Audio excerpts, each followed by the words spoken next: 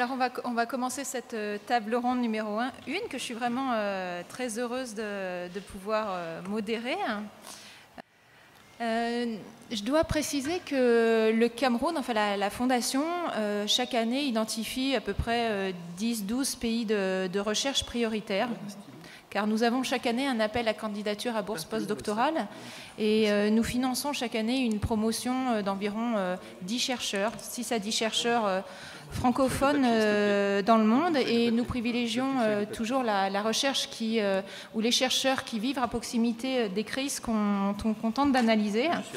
Et aujourd'hui, euh, le dernier appel, en 2018, les chercheurs camerounais ont été les deuxièmes plus nombreux à soumettre des projets de recherche, euh, alors qu'on reçoit vraiment des, des, projets du monde entier.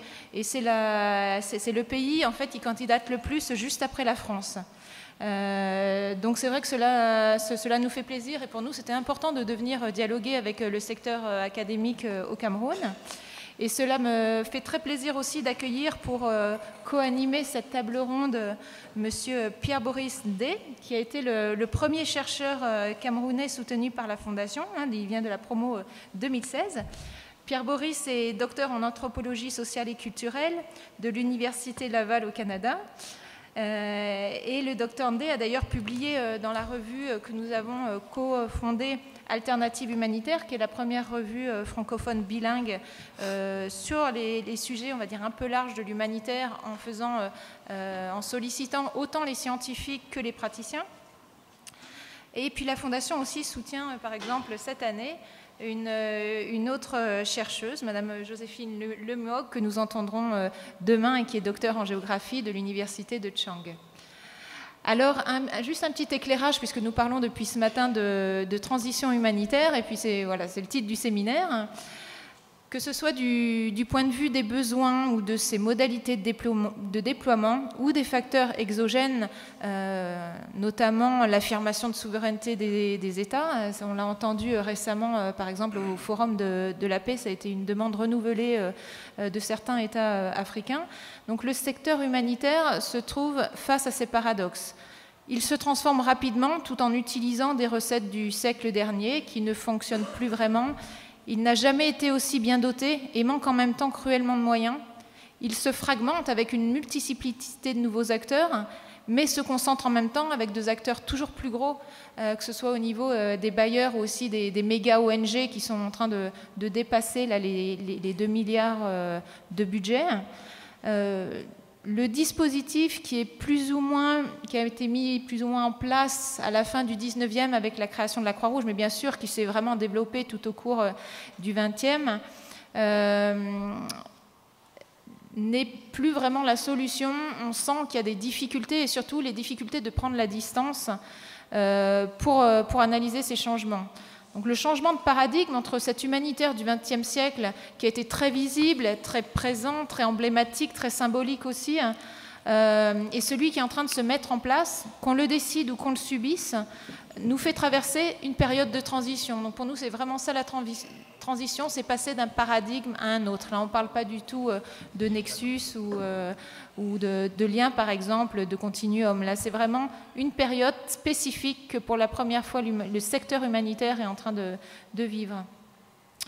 La transition a le défaut de, l'instabilité, on le voit à travers toute la littérature euh, scientifique ou des auteurs praticiens hein, qui parlent de déclin, de turbulence, de, même d'un adieu humanitaire euh, dans le dernier, mais a aussi l'avantage qu'on peut y changer la donne. Donc on l'a vu, euh, bon, on peut analyser le, sommet humanitaire mondial et ses conclusions un peu comme on veut, mais les concertations sont là et c'est peut-être maintenant l'occasion d'initier les collaborations, de commencer des projets qui seront intégrés dans cette nouvelle manière de, entre, guillemets, faire l'humanitaire.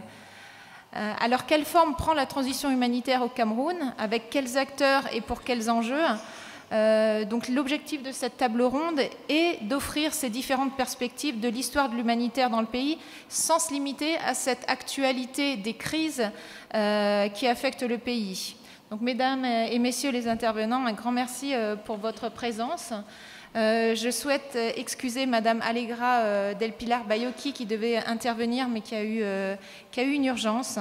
donc, bah, c'est Monsieur Yvan Conoir, qui ne représente pas les Nations Unies, mais qui les connaît très bien puisqu'il est enseignant sur le sujet, qui va, poser le cadre de cette intervention multilatérale aujourd'hui. Donc, Yvan, vous êtes professeur à la chaire Raoul Dandurand et à l'Université de Québec à Montréal et aussi enseignant à l'Université Laval.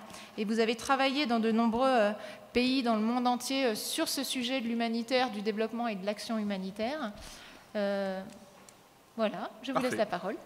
Merci beaucoup Virginie. Bonjour à tous et à toutes. Et c'est un privilège pour moi que j'entame avec beaucoup de modestie aussi, parce que je sais qu'il y a dans cette salle des praticiens confirmés et des académiques confirmés.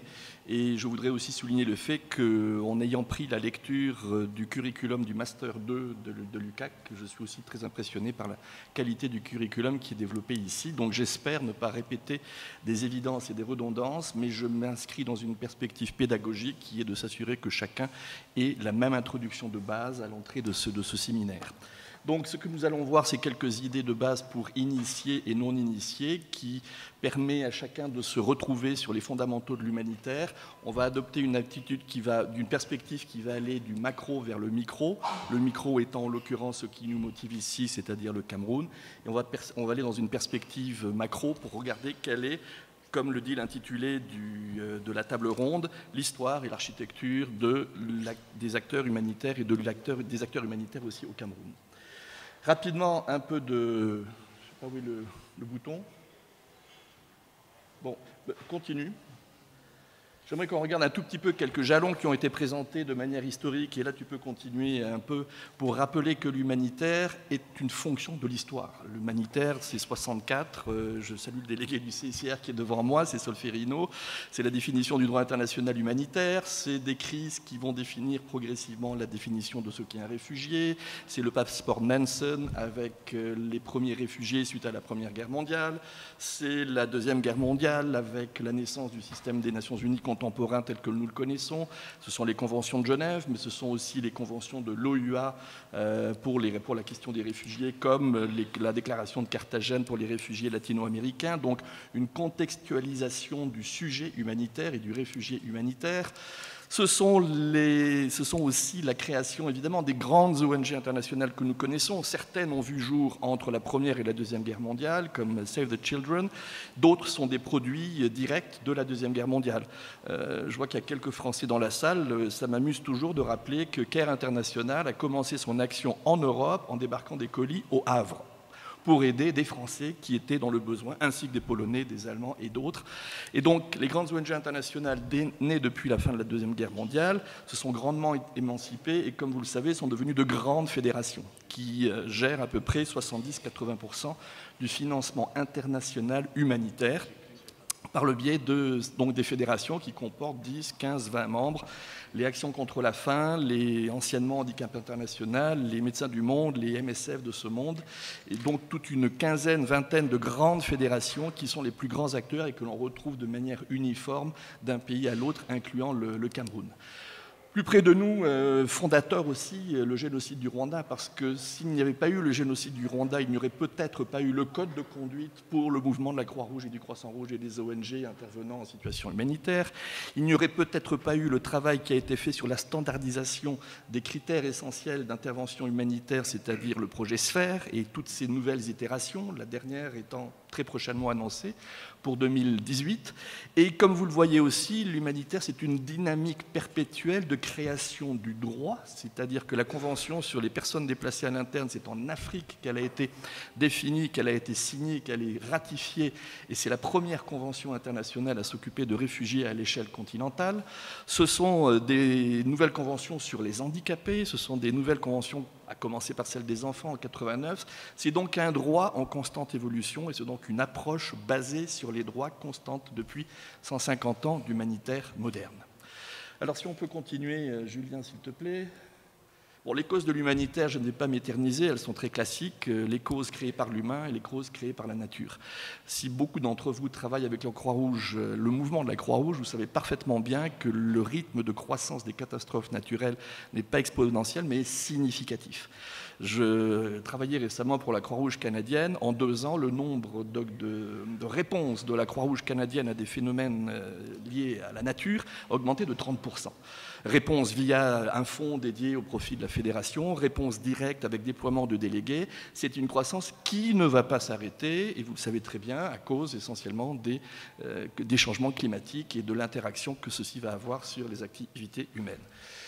Définitivement aussi, euh, non pas encore, définitivement aussi euh, conflit et ça c'est une évidence, une banalité, mais ce chiffre qui commençait à régresser au milieu des années 2000 après un pic de 50 conflits dans les années 93-94 est redevenu ce qu'il était il y a 25 ans, c'est-à-dire un humanitaire qui répond à des crises de plus en plus locales, et je pense que nous avons ici un exemple assez concret de ce qu'est une réponse à des conflits créés par l'homme j'essaye, je ne veux pas faire vite, mais je comprends que j'ai 15 minutes pour essayer de dresser une table assez exhaustive, donc je vais me limiter aux fondamentaux. Mais je voudrais aussi préciser une chose, c'est que si vous acceptez de partager vos courriels e-mail, moi j'ai l'habitude de laisser mes présentations sur un Dropbox et chacun y a accès libre à la fin de ma, de ma présentation. Donc les interventions de l'humanitaire, elles sont assez claires et elles reprennent la définition du comité d'aide au développement de l'OCDE en 2003. L'humanitaire, selon l'OCDE, c'est sauver des vies, alléger des souffrances, restaurer la dignité. Voilà le B à bas et le fondamental de l'humanitaire contemporain. Donc c'est le Good Humanitarian Donorship, c'est-à-dire le, club des bailleurs, des 26 bailleurs de l'OCDE qui ont mis cette définition de l'avant, et cette définition resserre de définitions je veux dire, universelle ou à tentation universaliste depuis sur tous les continents. Elle vise la satisfaction des besoins fondamentaux, elle vise à assurer les principes de protection internationale, elle vise aussi à reconstruire et réhabiliter le fameux cluster numéro 11 sur le relèvement précoce et encore le discours sur le continuum ou le nexus. Elle vise aussi la protection des plus vulnérables. La Croix-Rouge sait de quoi on parle quand on parle des plus vulnérables, des minorités. Mais elle vise aussi à travailler en amont sur la prévention. Et ça, c'est un travail ardu, peu financé. Généralement, 1, 2, 3% de chaque bailleur va consacrer un peu d'argent à la prévention en amont pour prévenir des catastrophes du futur. On continue avec une présentation des acteurs. Donc les acteurs toujours rappeler, parce que c'est fondamental, euh, quand on est un, en particulier un jeune humanitaire et qu'on débarque sur un théâtre donné, comprendre les acteurs, comprendre leur mandat, comprendre leur finalité, comprendre leurs objectifs et comprendre leur, leur, gouvernance interne. Euh, donc, que ce soit bien évidemment les États en première ligne qui vont régir les conditions d'asile, qui vont régir les conditions d'accès, qui vont assurer la sécurité des humanitaires, qui vont protéger, s'il en est un, l'espace humanitaire. C'est un débat ici au Cameroun. Quand on regarde le dernier rapport des Nations Unies sur le plan de réponse humanitaire, il y a tout un chapitre consacré à la problématique civilo-militaire. Quel est le régime que l'on va adopter au Cameroun en matière de problématique civilo-militaire? Et on a deux régimes, de la coexistence à la coopération on est au Cameroun dans un régime de coexistence, qui est une définition définie par euh, les règles, des règles d'Oslo, des règles internationales, et qui place le rôle de l'État en première ligne par rapport à la sécurité des populations, mais qui tente à, côté de préserver l'espace humanitaire des organisations humanitaires. Organisation internationale, vous avez donc les 11-12 agences internationales du système des Nations Unies, et je ne vais pas les nommer, le HR, le PAM, l'UNICEF, l'OIM qui parlera, etc., etc. Les organisations régionales, quand elles acceptent de s'investir, et dans les organisations régionales, il faut aussi parler de ECHO, puisque l'Union européenne est une organisation régionale qui a un bras droit financier qui s'appelle ECHO, qui finance à peu près 5 à 6 milliards d'interventions chaque année. Organisation nationale de première ligne, qu'elle soit, soit Croix-Rouge, qu'elle soit nationale, euh, sous quelque forme qu'elle soit. Et quand je parle d'organisation nationale, aussi organisation semi-publique ou parapublique, qui représente le travail de l'État dans un secteur donné, que ce soit le ministère de la Santé pour la nutrition, le ministère de la Santé pour la santé et d'autres ministères de première ligne. Les ONG, les organisations privées, les organisations militaires qui sont une composante du décor de plus en plus, particulièrement quand on a des opérations de maintien de la paix avec lesquelles il faut composer. Prenez le cas de la, je regardais récemment le cas de la MONUSCO et son travail de protection des humanitaires dans l'est du pays. Il y a un rôle d'une organisation militaire pour protéger un certain espace humanitaire pour pouvoir travailler en réponse à la crise d'Ebola dans l'est du pays. Donc une présence multi-acteurs qui défend aussi des droits. Les droits de l'humanitaire, c'est L'approche, la fameuse approche basée sur les droits, c'est reconnaître que toute, toute personne n'est pas une victime ou un sinistré, mais que c'est une personne dotée de droits et que l'action humanitaire a pour première finalité de faire respecter ces droits et les obligations qui sont celles des États qui en ont la protection. Donc de manière historique, droit international humanitaire, Convention de Genève, etc., droit des réfugiés depuis 1951, droit des apatrides depuis 50-60, droit des personnes déplacées à l'interne depuis 2009 en Afrique, droit des droits de l'homme, bien évidemment, droit des groupes vulnérables spécifiques, chaque groupe vulnérable spécifique ayant très souvent une convention qui lui est rattachée. Et là, je rappelle la Convention sur les droits de l'enfant, les trois conventions sur les droits de la femme, la Convention sur le handicap, etc. etc et aussi d'autres droits accessoires, mais qui jouent un rôle sur euh, l'action humanitaire, le droit de l'environnement et la gestion de l'environnement par les acteurs humanitaires dans un espace donné, le droit pénal international, les droits civils et politiques, bref, un ensemble et un panache de régimes juridiques et normatifs qui organisent la protection de l'individu, la protection des communautés et la protection aussi des populations hautes sur leur territoire. Donc c'est une approche fondamentale à retenir. Et cette approche est d'autant plus balisée par euh, une autre série de non-droits, mais qui sont des chartes et des codes qui, euh, font la synthèse des droits essentiels. La charte humanitaire, par exemple, du projet Sphère euh, met de l'avant trois principes fondamentaux celui du non-refoulement, qui est celui qui l'alpha et l'oméga du droit des réfugiés, les droits de l'homme et, euh, j'ai oublié le troisième, oui, la protection des personnes euh, qui ne sont pas combattantes, donc euh, le principe fondamental du droit international humanitaire. La définition et la multiplication de codes de conduite, on l'a dit aujourd'hui, chaque agence non gouvernementale ou, des Nations Unies a son propre code de conduite, son propre code d'éthique, mais la mère, entre guillemets, de tous les codes de conduite, c'est le code de conduite du mouvement de la Croix-Rouge et des organisations non gouvernementales l'approche du do no harm, l'approche euh, du accountability to beneficiaries, redevabilité aux bénéficiaires, euh, le développement aussi de règles normatives qui enchassent les droits relatifs aux enfants, aux handicapés, je l'ai déjà dit, mais aussi les droits relatifs à l'action contre les mines, etc., etc. Donc un monde de plus en plus normalisé qui fait comprendre que l'humanitaire n'est pas juste une succession de programmes ou de projets, mais qu'elle est une approche basée sur le respect des droits des individus, des communautés hautes et des populations. Ça, c'est fondamental. Les bénéficiaires par connexion sont évidemment tous ceux qui sont receveurs ou bénéficiaires de ces droits, qu'ils soient réfugiés, rapatriés, requérants d'asile dans le cadre du HCR, qu'ils soient sinistrés dans le cadre de catastrophes naturelles, qu'ils soient déplacés à l'interne ou bien retournés, le retourné étant un rapatrié de l'interne, si on peut s'exprimer ainsi. Les apatrides, bien évidemment, le HCR a reçu ce mandat il y a une dizaine d'années de s'occuper de toutes les populations apatrides, c'est-à-dire les populations sans nationalité, soit parce qu'elles ne l'ont pas acquise, ou parce qu'elles l'ont perdue, ou parce que leur État a disparu.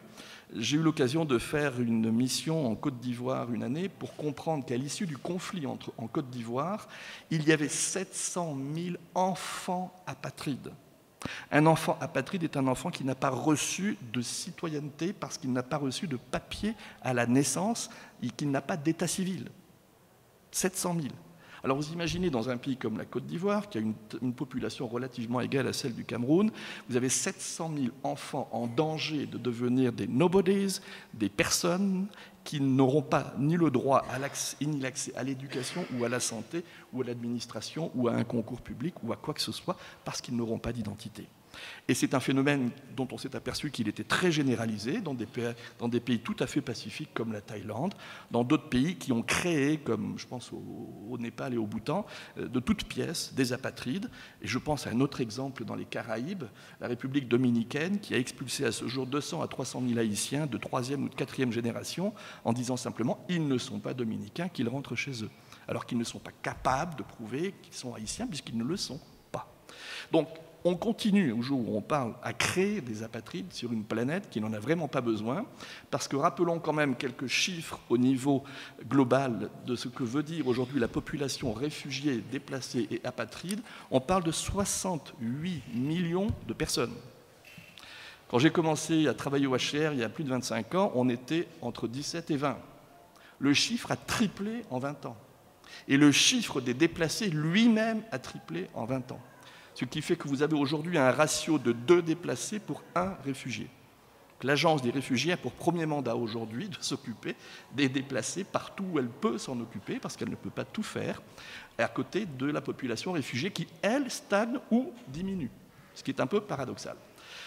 Combattants et non-combattants, ce sont les règles du droit international humanitaire, donc la protection des prisonniers, des combattants et des non-combattants, la protection des femmes et des enfants, des personnes âgées, des groupes vulnérables, etc. Donc toutes ces cibles sont soit différenciées en fonction du mandat de l'agence qui va s'en occuper, soit indifférenciées parce qu'elles sont dans un ensemble de populations où il faut s'occuper de manière équitable d'une population dans son ensemble. Je donne un exemple. Que penser des réfugiés syriens en Turquie? Les réfugiés syriens en Turquie n'ont pas le citoyen de réfugié au sens de la Convention de 1951 ils sont officiellement des guests, c'est-à-dire des invités. Et si vous regardez le site du ministère de l'Intérieur turc, vous allez vous apercevoir qu'il y a quatre catégories de réfugiés entre guillemets, c'est-à-dire des gens qui sont réfugiés officiels, et puis d'autres qui ne le sont pas, et puis d'autres qui sont une troisième catégorie, et l'autre une quatrième catégorie. Donc, les États et le droit créent des catégories supplémentaires de personnes, mais toutes, à la fin, ont besoin d'une protection équivoque et relativement unanime et consensuelle. Alors, les cinq cercles, là tu peux défouler, ça c'est une création personnelle, c'est dire simplement, vous avez différentes, une stratification de l'action humanitaire en fonction de sa réponse face à un individu. Vous avez le premier cercle qui est l'individu lui-même, qui protège sa famille, ses biens, sa carte de ration, etc. etc. Vous avez le deuxième niveau, celui du camp de réfugiés, géré par l'État, le HCR, dont l'État doit devant assurer la sécurité. Vous avez celui du district ou de la province, où sont représentées à un certain niveau les représentations des ONG et des organisations internationales. Vous avez le niveau de l'État, bien évidemment, où sont concentrées les actions non seulement des organisations internationales, des grandes ONG et des bailleurs de fonds, les fameux dont parlait monsieur l'ambassadeur tout à l'heure, euh, les 4, 5, 6 qui financent une action de manière conséquente. Et vous avez le cinquième niveau qui est le niveau international.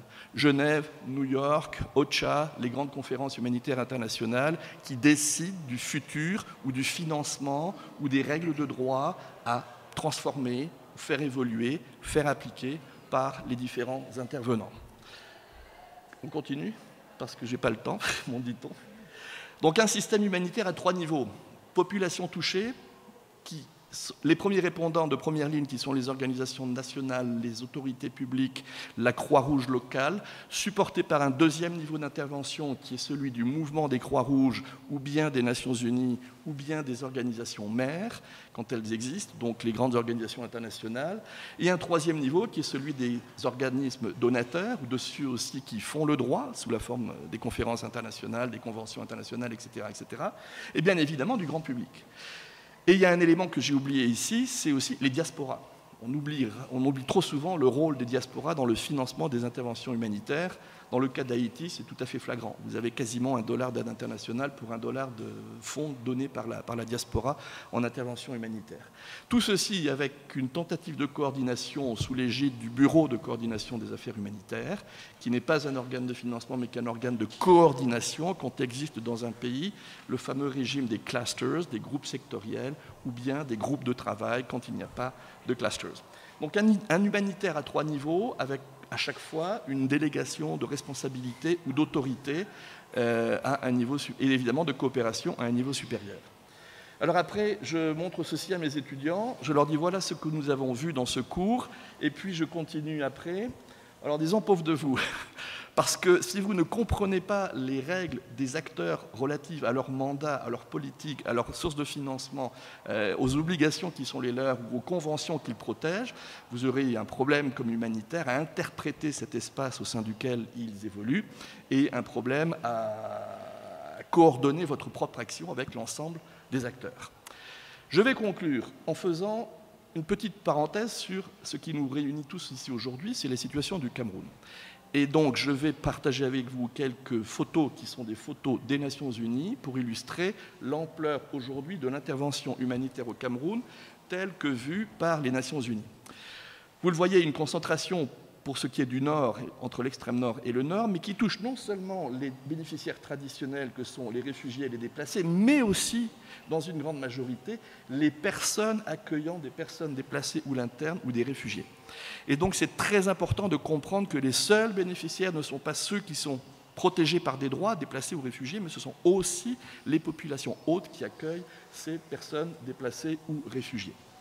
La deuxième euh, diapositive illustre cette, carte initiale. C'est de dire que sur une population totale d'à peu près 25 millions d'habitants, les zones dans le nord, en termes de population, représentent à peu près 10 millions, mais le nombre de personnes ayant besoin d'assistance humanitaire, 3,26, n'est pas la somme des déplacés ou des réfugiés, c'est la somme des déplacés, des réfugiés et des personnes accueillant ces PDI ou ces réfugiés et d'autres personnes dans le besoin déstabilisés par soit un problème au niveau de la santé ou de la nutrition des enfants ou quoi que ce soit. Donc c'est très intéressant de regarder, vous voyez, réfugiés, personnes déplacées, réfugiés nigérians, réfugiés centrafricains, et puis plus bas, 2,5 personnes, selon les Nations Unies, considérées comme d'autres personnes dans le besoin. D'où la nécessité d'avoir une information qui soit juste, désagrégée par qualité, par nature et par zone géographique dans chacune des interventions. Dernière diapositive, plus récente, celles qui ont été présentées par les Nations Unies en mai 2018 pour le sud-ouest et le nord-ouest. Voici la situation telle qu'elle était présentée à cette époque-là, je ne la connais pas aujourd'hui qui illustre pour ces deux régions le niveau de déplacement dans chacun des départements touchés. Donc une concentration claire sur le département de Mémé et une présentation de l'ampleur de la crise en termes humanitaires, nonobstant le fait que, comme l'a dit l'ambassadeur tout à l'heure, 40 000 de ces personnes sont aussi allées de l'autre côté au Nigeria. Ce qui nous donne, en, en termes statistiques, les besoins estimés par les Nations Unies en mai 2018, je répète, c'est-à-dire qui doit être aidé et pourquoi. Et on retrouve au cœur de cette intervention, bien évidemment, la protection, les abris, la santé, le wash et la sécurité alimentaire. Donc voilà pour planter le décor sur ce qui va animer ces tableaux euh, dans cette semaine, les quelques informations qu'ont bien voulu partager avec nous les Nations Unies. Et en ce qui me concerne, ça va clore ma présentation. Merci beaucoup Yvan. C'est vrai que nous, ce qui nous intéresse, c'est de rentrer dans ces cinq cercles, en fait. Et quand vous avez vu euh, la, diapo euh, pauvre de nous, c'est vrai que à chaque relation, en fait, entre chaque acteur ou bénéficiaire, les chercheurs travaillent sur, ces projets-là. Euh, donc, on peut se dire, essayer d'analyser, l'idée, c'est de se dire que se passe-t-il au Cameroun? Comment la recherche ou travaillant avec la société civile peut nous éclairer sur chacune de ces relations qui fait que l'ensemble marche plus ou moins bien en fait. Euh, donc, euh, donc nous allons continuer. Euh, avec le point de vue académique. Monsieur Joseph, le professeur Joseph Ntunda et Baudet, malheureusement, a eu un, petit empêchement et regrette de pouvoir être là, mais c'est son collègue Franck Ebogo, nous avons la chance d'avoir aujourd'hui. Donc, Franck, vous êtes docteur en sciences politiques, enseignant-chercheur à l'Université de Yaoundé 2 et coordinateur adjoint du master en stratégie, défense, gestion des conflits et des catastrophes. Donc euh, là, on est euh, en plein dans le sujet. Euh, et ce qui nous intéresse, c'est vrai qu'on avait, en, parlant avec nos, collègues de Yaoundé 2, c'était de se dire, bah, sur toutes ces présences, en fait, on a souvent l'impression que ça se cantonne aux, crises très récentes, mais qu'il y a toute une histoire derrière, et que c'est en fait les, chercheurs ou les personnes qui vont analyser et archiver et documenter cette histoire, on va permettre de comprendre aussi ce qui se passe. Donc, euh, ben, je, vous remercie, je vous passe la parole pour euh, votre intervention sur l'humanitaire au Cameroun, histoire ancienne ou nouvelle dynamique. Merci, euh, Madame la modératrice, de me passer la parole. Madame le vice-président de la Fondation Croix-Rouge française, de la Croix-Rouge française, euh, monsieur l'abbé recteur de l'Université catholique euh, de l'Afrique centrale, Mesdames, Messieurs les responsables et représentants des organisations et associations humanitaires, Mesdames, Messieurs, c'est avec euh, beaucoup d'émotion que je prends la parole ici aujourd'hui. Tout d'abord en tant qu'ancien ancien étudiant de cette institution. Ça fait 15 ans que je n'ai pas mis les pieds ici. Donc, euh, lorsque j'ai foulé euh, le sol euh, du campus de Kounou, j'ai ressenti beaucoup d'émotions. Et le plaisir également de voir L'abbé recteur, à l'époque, il n'était pas encore recteur. Je crois qu'il était aumônier au, au début des années 2000. C'est également un plaisir de représenter le professeur Touda, qui est en déplacement. Il a été euh, mon directeur de thèse, dont je suis l'un de ses héritiers. Euh, je ne travaille pas particulièrement sur euh, les problématiques humanitaires, mais dans le cadre de mes activités académiques, j'ai eu à diriger un certain nombre de travaux, notamment les mémoires professionnelles, puisqu'il a été mentionné tout à l'heure, que je coordonne un master en stratégie, euh, défense, sécurité et gestion des catastrophes. Donc, euh, j'ai eu à diriger beaucoup de mémoires des étudiants qui ont effectué des stages à la Croix-Rouge camerounaise. Et il faut le dire, dans le cadre de leur stage, ils ont été amenés à effectuer des déplacements dans les camps de réfugiés, notamment à l'est du Cameroun, dans les nombreux camps de réfugiés à l'est du Cameroun, le camp de Gado Badjire, après euh, mais également euh, le camp de Minawao. Donc euh, c'est la somme de cette expérience, de ces expériences-là, les lectures, euh, les données recueillies dans un certain nombre de mémoires qui m'ont permis de monter cette communication. voilà, elle est un peu en désordre. Euh, voilà, euh, nous allons commencer par une petite introduction. il y a une définition qui nous a été donnée tout à l'heure de l'action humanitaire pour qu'on puisse gagner en temps, je ne reviendrai pas dessus. Ben, ici, il s'agit d'une euh, définition académique qui est tirée du dictionnaire de droit international public de Jean Salmon. On peut passer à la suivante. La suivante. Voilà, je vous ai dit qu'elle était un peu en désordre, mais la suite est mieux. Voilà. Et justement, il y a eu euh, une petite difficulté sur le plan méthodologique, puisqu'on nous a donné un thème qui nous invite à tracer la trajectoire historique euh, de l'humanitaire au Cameroun. Donc, il y a eu plusieurs entrées. il y a eu une entrée à partir du champ politique. Est-ce qu'il fallait calquer cette histoire de l'humanitaire à partir du champ politique? Dans ce sens, on aurait un humanitaire qui intervient dans la période du monolithisme euh, politique, c'est-à-dire pendant le parti unique, à peu près 62 ou 66, jusqu'en 90, où on verra véritablement un déploiement de la Croix-Rouge camerounaise et une faible compétition imposée à la Croix-Rouge camerounaise. Et la deuxième période étant la période de l'ouverture politique et également qui est marquée par une multiplicité d'acteurs humanitaires. La deuxième entrée étant euh, par rapport à la conjoncture politique, c'est-à-dire les périodes de Brest et les périodes de calme. Un humanitaire euh, un peu plus apaisé qui intervient dans les périodes de calme et un humanitaire, n'est-ce pas, dont les actions sont, euh, si vous voulez, exigées, sont demandées en période de Brest. Et la dernière entrée, c'est celle-là que nous allons retenir, c'est en fonction, n'est-ce pas, de la typologie des conflits. à ce niveau, on peut avoir période marquée par des conflits classiques qui va à peu près de l'indépendance du Cameroun jusqu'au conflit de Bakassi, jusqu'à la résolution juridictionnelle du conflit de Bakassi en octobre 2002. Euh, euh, la, guerre de Bakassi, c'est 1993 euh, et elle est résolue avec l'arrêt, à travers l'arrêt, n'est-ce pas, de la Cour internationale de justice du 10 octobre 2002. Donc on peut avoir cette première période et un nouvel humanitaire, n'est-ce pas, qui intervient au lendemain de, ce conflit-là avec d'autres acteurs et des actions un peu plus complexes. La suivante. Au niveau de la suivante, je vous donne euh, rapidement les articulations de notre euh, exposé. Euh, nous verrons les débuts de l'humanitaire de la Croix-Rouge camerounaise, l'âge d'or, l'irruption de nouveaux acteurs, les défis et euh, quelques recommandations.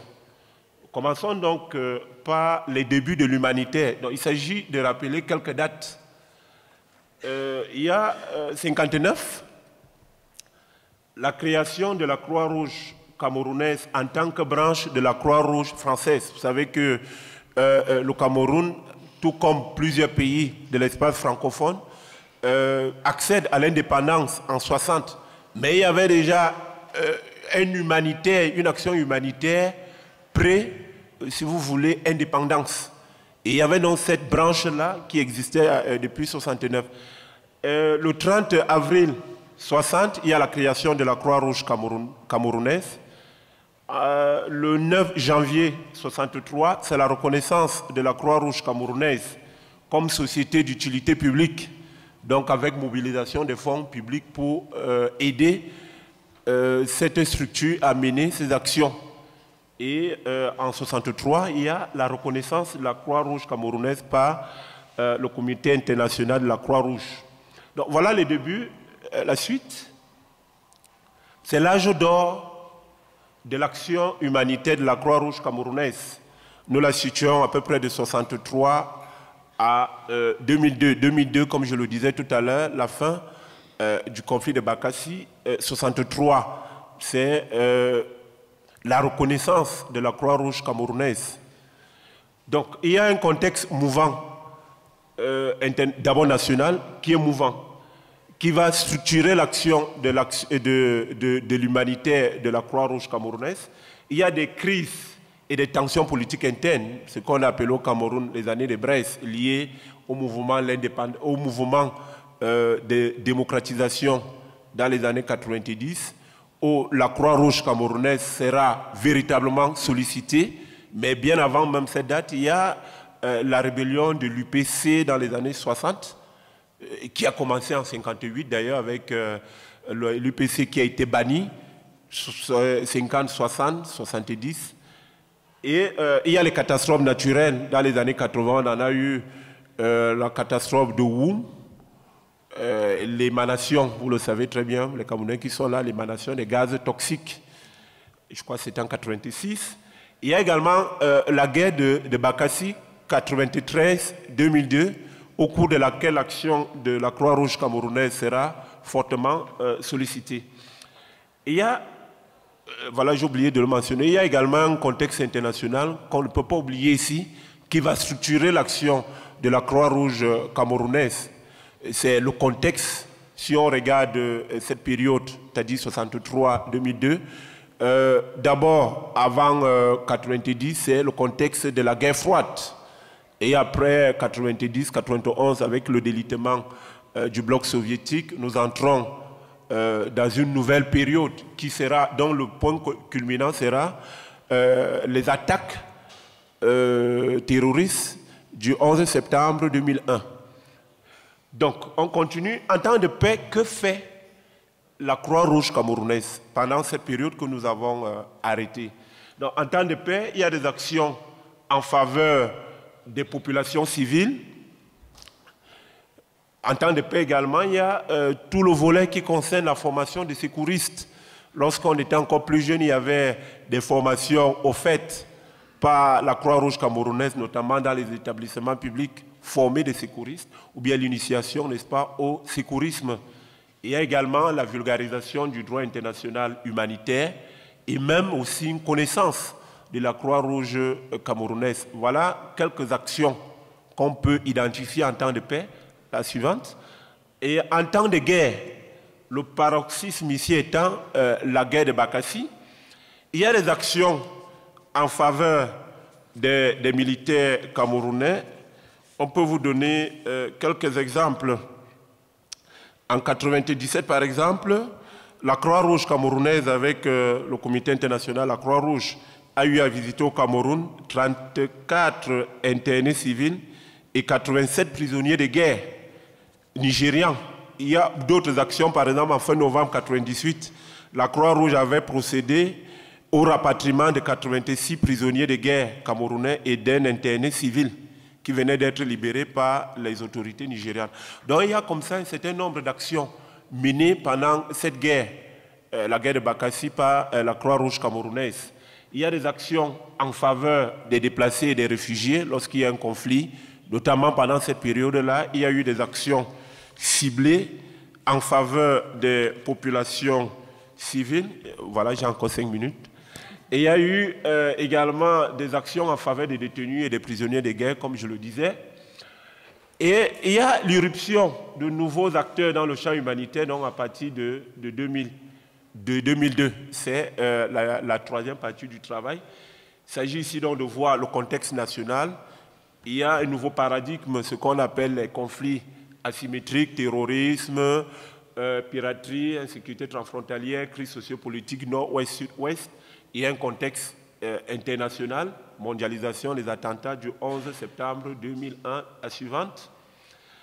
Et là, donc, on a euh, un certain nombre d'acteurs qui vont concurrencer l'action de la Croix-Rouge camerounaise. Et d'ailleurs, cela a été présenté dans la présentation, dans la communication euh, précédente. Il y a les agences humanitaires, puisque nous parlons des réfugiés ici, l'organe central, c'est le HCR, et il y a donc un certain nombre, si vous voulez, d'agences satellitaires comme l'OMS, PAM, UNICEF, etc. La suivante, il y a également des administrations et les structures techniques sur le plan national, le ministère de l'eau, le ministère des Affaires sociales, le ministère de l'administration territoriale, le euh, ministère en charge de l'éducation de base, etc., etc., qui vont participer également dans l'action humanitaire la suivante. On a euh, également euh, les, les ONG humanitaires qui concurrencent fortement l'action de la Croix-Rouge camerounaise. Médecins sans frontières, Plan Cameroun, CARE, etc., etc. Je crois qu'il y a plusieurs représentants de ces organisations euh, dans la salle. Et enfin, il y a des organisations locales qui habituellement sous-traitent auprès de ces agences humanitaires. J'en ai identifié quelques-unes qu'on peut voir. Euh, L'IEDA ou bien euh, MMC, n'est-ce pas, qui sous-traitent auprès du ICR la suivante. Et là, donc, il y a un certain nombre de défis que la Croix-Rouge doit relever pour se positionner comme acteur pertinent dans le champ humanitaire. Il y a des défis conjoncturels liés aux ressources financières, c'est l'éternel problème de cette structure.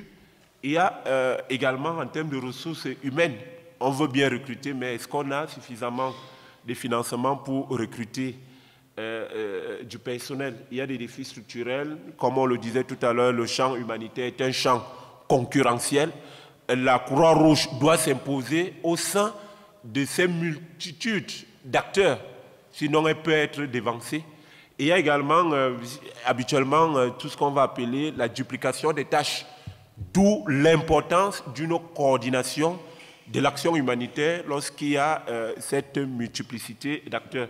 La dernière, donc, euh, c'est quelques recommandations pour, pour sortir rapidement, qu'on peut voir densifier et diversifier les sources de financement pour la Croix-Rouge camerounaise, bâtir une humanité spécifiquement camerounaise, parce que euh, la Croix-Rouge camerounaise représente, euh, si vous voulez, une manière de faire, une manière typiquement camerounaise de faire dans l'humanité, et cela doit se refléter au niveau de la Croix-Rouge camerounaise. Donc, je crois que le temps qui m'a été imparti arrive euh, à la fin. Je vous remercie pour votre bien aimable attention. Merci beaucoup. De toute façon, on continue la discussion puisqu'on va finalement enchaîner en toute continuité avec, euh, avec euh, la Croix-Rouge camerounaise et puis Monsieur Jean Urbain Zoa. Alors, Monsieur Zoa, vous êtes professeur de lycée. Après plusieurs responsabilités au ministère euh, des Enseignements secondaires, vous rejoignez la Croix-Rouge camerounaise au titre de secrétaire général adjoint. Vous êtes par ailleurs directeur du centre de formation en kinésithérapie de la Croix-Rouge camerounaise. Le mouvement international de la Croix-Rouge et du Croissant-Rouge est effectivement le plus grand réseau humanitaire au monde. Euh, et ce réseau rassemble aussi toutes les strates d'intervention de la plus locale à la plus globale. Donc, action humanitaire, action sociale, on, fait souvent action humanitaire, action de euh, développement, mais de la perspective de la Croix-Rouge, ce qui est très intéressant, c'est entre action humanitaire et action sociale, que représente finalement l'intervention de la Croix-Rouge au Cameroun. Monsieur Zoa, nous vous écoutons merci, Madame, de me passer la parole. Je suis très honoré euh, de me retrouver dans ce panel aujourd'hui pour euh, parler au nom de la Croix-Rouge camerounaise. Mais je voudrais déjà avouer que mon prédécesseur a développé euh, l'une des grandes parties même de mon travail. nous n'allons pas revenir sur l'historique de la Croix-Rouge camerounaise, le thème euh, qui m'interpelle porte sur euh, euh, l'activité humanitaire, l'activité sociale, la Croix-Rouge camerounaise intervenir entre le, local et le global. Comme je l'ai dit, euh, les préoccupations d'ordre historique euh, ont déjà été relevées, mais il convient quand même de revenir sur un certain nombre de points. Euh, pour mieux comprendre l'activité de la Croix-Rouge camerounaise, il est important de revenir sur euh, le contexte socio-humanitaire qui a caractérisé euh, le Cameroun, notre pays, au cours de ces derniers temps. il est question de relever aussi que le Cameroun, appelé aujourd'hui Afrique en miniature, ne partage pas n'assume pas seulement ce nom du fait de la diversité de ses ressources.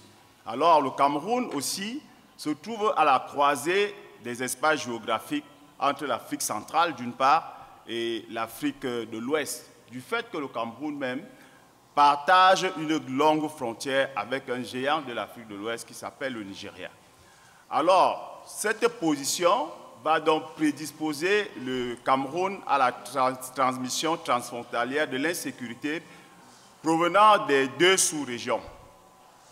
Alors, euh, du fait que le pays, va donc hériter de tous les risques qui peuvent donc être liés, soit à l'action de l'homme, soit aux différentes catastrophes euh, euh, naturelles depuis son indépendance, le Cameroun est resté un pays stable en Afrique centrale, mais il n'est pas resté à marge des grands bouleversements qui affectent les populations du monde. En effet, le pays a connu, euh, depuis 1980, plus d'un millier de catastrophes naturelles et effets humains à effet humain, dont les plus emblématiques, on l'a dit, mon prédécesseur l'a dit, il a parlé des émanations des gaz les inondations, la grande sécheresse, les épidémies, surtout les accidents de la route, les accidents de la voie aérienne et les accidents de train. Les catastrophes qui ont affecté les populations et ont fait de nombreuses victimes. À ces différentes catastrophes s'ajoutent des crises à évolution lente et insidieuse telles que les changements climatiques, on l'a dit, sans oublier que le Cameroun, comme l'a dit mon prédécesseur, à un certain moment, va donc être le théâtre d'un certain nombre de crises qui sont de nature davantage politique. Nous avons aujourd'hui euh, la crise qui affecte euh, euh, les parties du nord-ouest et du sud-ouest.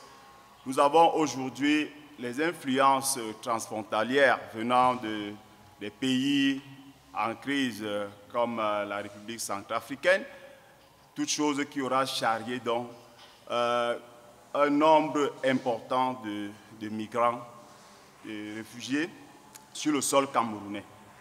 Je voudrais dire donc que c'est dans ce contexte-là que s'inscrivent donc les activités de la Croix-Rouge camerounaise, notamment les activités à caractère humanitaire, et des activités euh, sociales. les activités humanitaires, on peut les définir comme étant euh, des activités d'urgence qui amènent euh, les organisations à porter du secours aux personnes vulnérables du fait d'une situation de détresse, soit naturelle, soit une, du fait de, la crise. Pour revenir donc à, ces activités d'urgence, euh, la Croix-Rouge camerounaise, aux côtés de, ses partenaires, les partenaires, euh, on l'a dit, la Croix-Rouge camerounaise euh, travaille avec le mouvement international de la Croix-Rouge, c'est-à-dire les, les, partenaires du mouvement qui sont le Comité international de la Croix-Rouge, la Fédération internationale des sociétés de la Croix-Rouge et les Croix-Rouges, euh, sociétés nationales Croix-Rouge participantes qui viennent appuyer euh, l'action de la société nationale. Sans oublier les autres partenaires qui sont euh, des agences du système des Nations Unies. Je vais citer par exemple le PAM, par exemple l'UNICEF et consorts. Ça a été déjà dit par, par mes prédécesseurs. L'activité humanitaire de la Croix-Rouge camerounaise se décline en trois grandes étapes. Nous avons la préparation, la réponse, le relèvement. L'action ici est mise sur le respect de la dignité humaine en tout temps et la promotion des valeurs humanitaires telles que édictées par les conventions de Genève de 1949 ainsi que leur protocole additionnel 1977-2005. Le succès des actions de la Croix-Rouge s'adosse sur la recherche en tout temps de la confiance. Les activités humanitaires sont gens, on l'a dit, à travers dans ces différents partenariats. Je ne sais pas si les, euh, prenez besoin de revenir sur euh, les zones d'intervention, mais les zones prioritaires aujourd'hui où la Croix-Rouge camerounaise mène ses actions, nous avons euh, la zone de, l'extrême nord qui sort peu à peu de, situations dues aux activités terroristes. Nous avons euh, les zones de l'Est, la zone de l'Est, comme je l'ai dit, avec euh, la gestion euh, délicate des, afflux massifs des réfugiés. Et aujourd'hui, plus que jamais, nous avons la, situation dans les, les localités du sud-ouest et du nord-ouest et davantage un, important, euh, un afflux massif des personnes déplacées dans les localités environnantes, dans les régions environnantes, notamment les régions du littoral et les régions, les régions de, de l'Ouest Cameroun.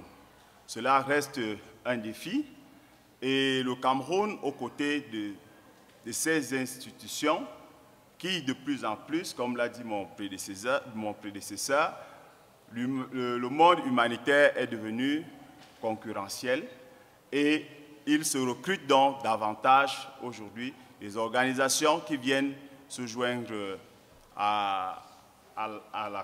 aux activités de la Croix-Rouge pour porter secours aux populations vulnérables.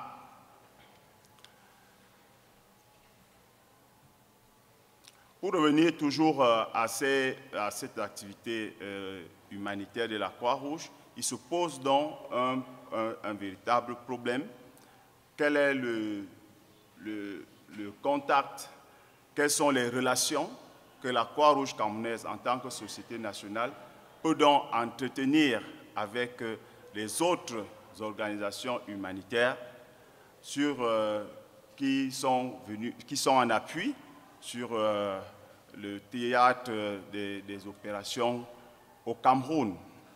Cela reste un véritable défi pour euh, la Croix-Rouge camerounaise qui, tout le monde peut l'imaginer, euh, du coup, ne peut pas prétendre se retrouver au même niveau, même diapason que ces autres entités que, que nous avons notées. Alors la Croix-Rouge camerounaise se doit cinq minutes, la Croix-Rouge camerounaise donc se doit de chercher à renforcer, à renforcer ses capacités, renforcer ses capacités à plus d'un niveau, à renforcer ses capacités d'abord sur le plan humain, c'est-à-dire avoir des personnes capables de pouvoir euh, repenser sa vision, parce que comme on, euh, euh, on l'a déjà dit ici, Aujourd'hui, nous, euh, nous assistons à des crises de, de plus en plus nouvelles. Et la Croix-Rouge se doit de faire, de, s'intégrer dans ce monde globalisé. Euh, en ce qui concerne euh, l'activité humanitaire de, de la Croix-Rouge, malheureusement, elle, à travers son maillage territorial, est capable de pouvoir trouver la ressource humaine à travers ses volontaires qui peuvent mettre en œuvre un certain nombre de projets en faveur des populations vulnérables. La Croix-Rouge camerounaise va donc faire face aux problèmes de moyens financiers, de ressources financières qui ne sont pas capables, qui, sont, qui ne lui permettent pas de pouvoir atteindre ses, objectifs.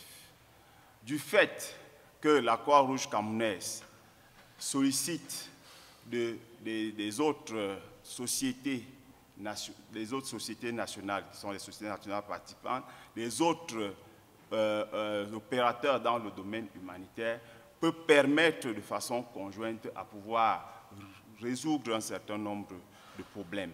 S'il est vrai que les moyens financiers ne sont pas toujours au point, il est vrai aussi que la ressource humaine, les volontaires peuvent contribuer à à implémenter les activités euh, sur le terrain. Sur ce plan humanitaire, la Croix-Rouge camerounaise, euh, tant bien que mal, continue de mener euh, ses activités. Et nous notons malheureusement aussi que du fait de, de l'insuffisance de moyens financiers, l'activité humanitaire va donc être d'une façon ou d'une autre affaibli. Tout simplement parce que si la Croix-Rouge camerounaise a accès à un certain nombre de, bailleurs,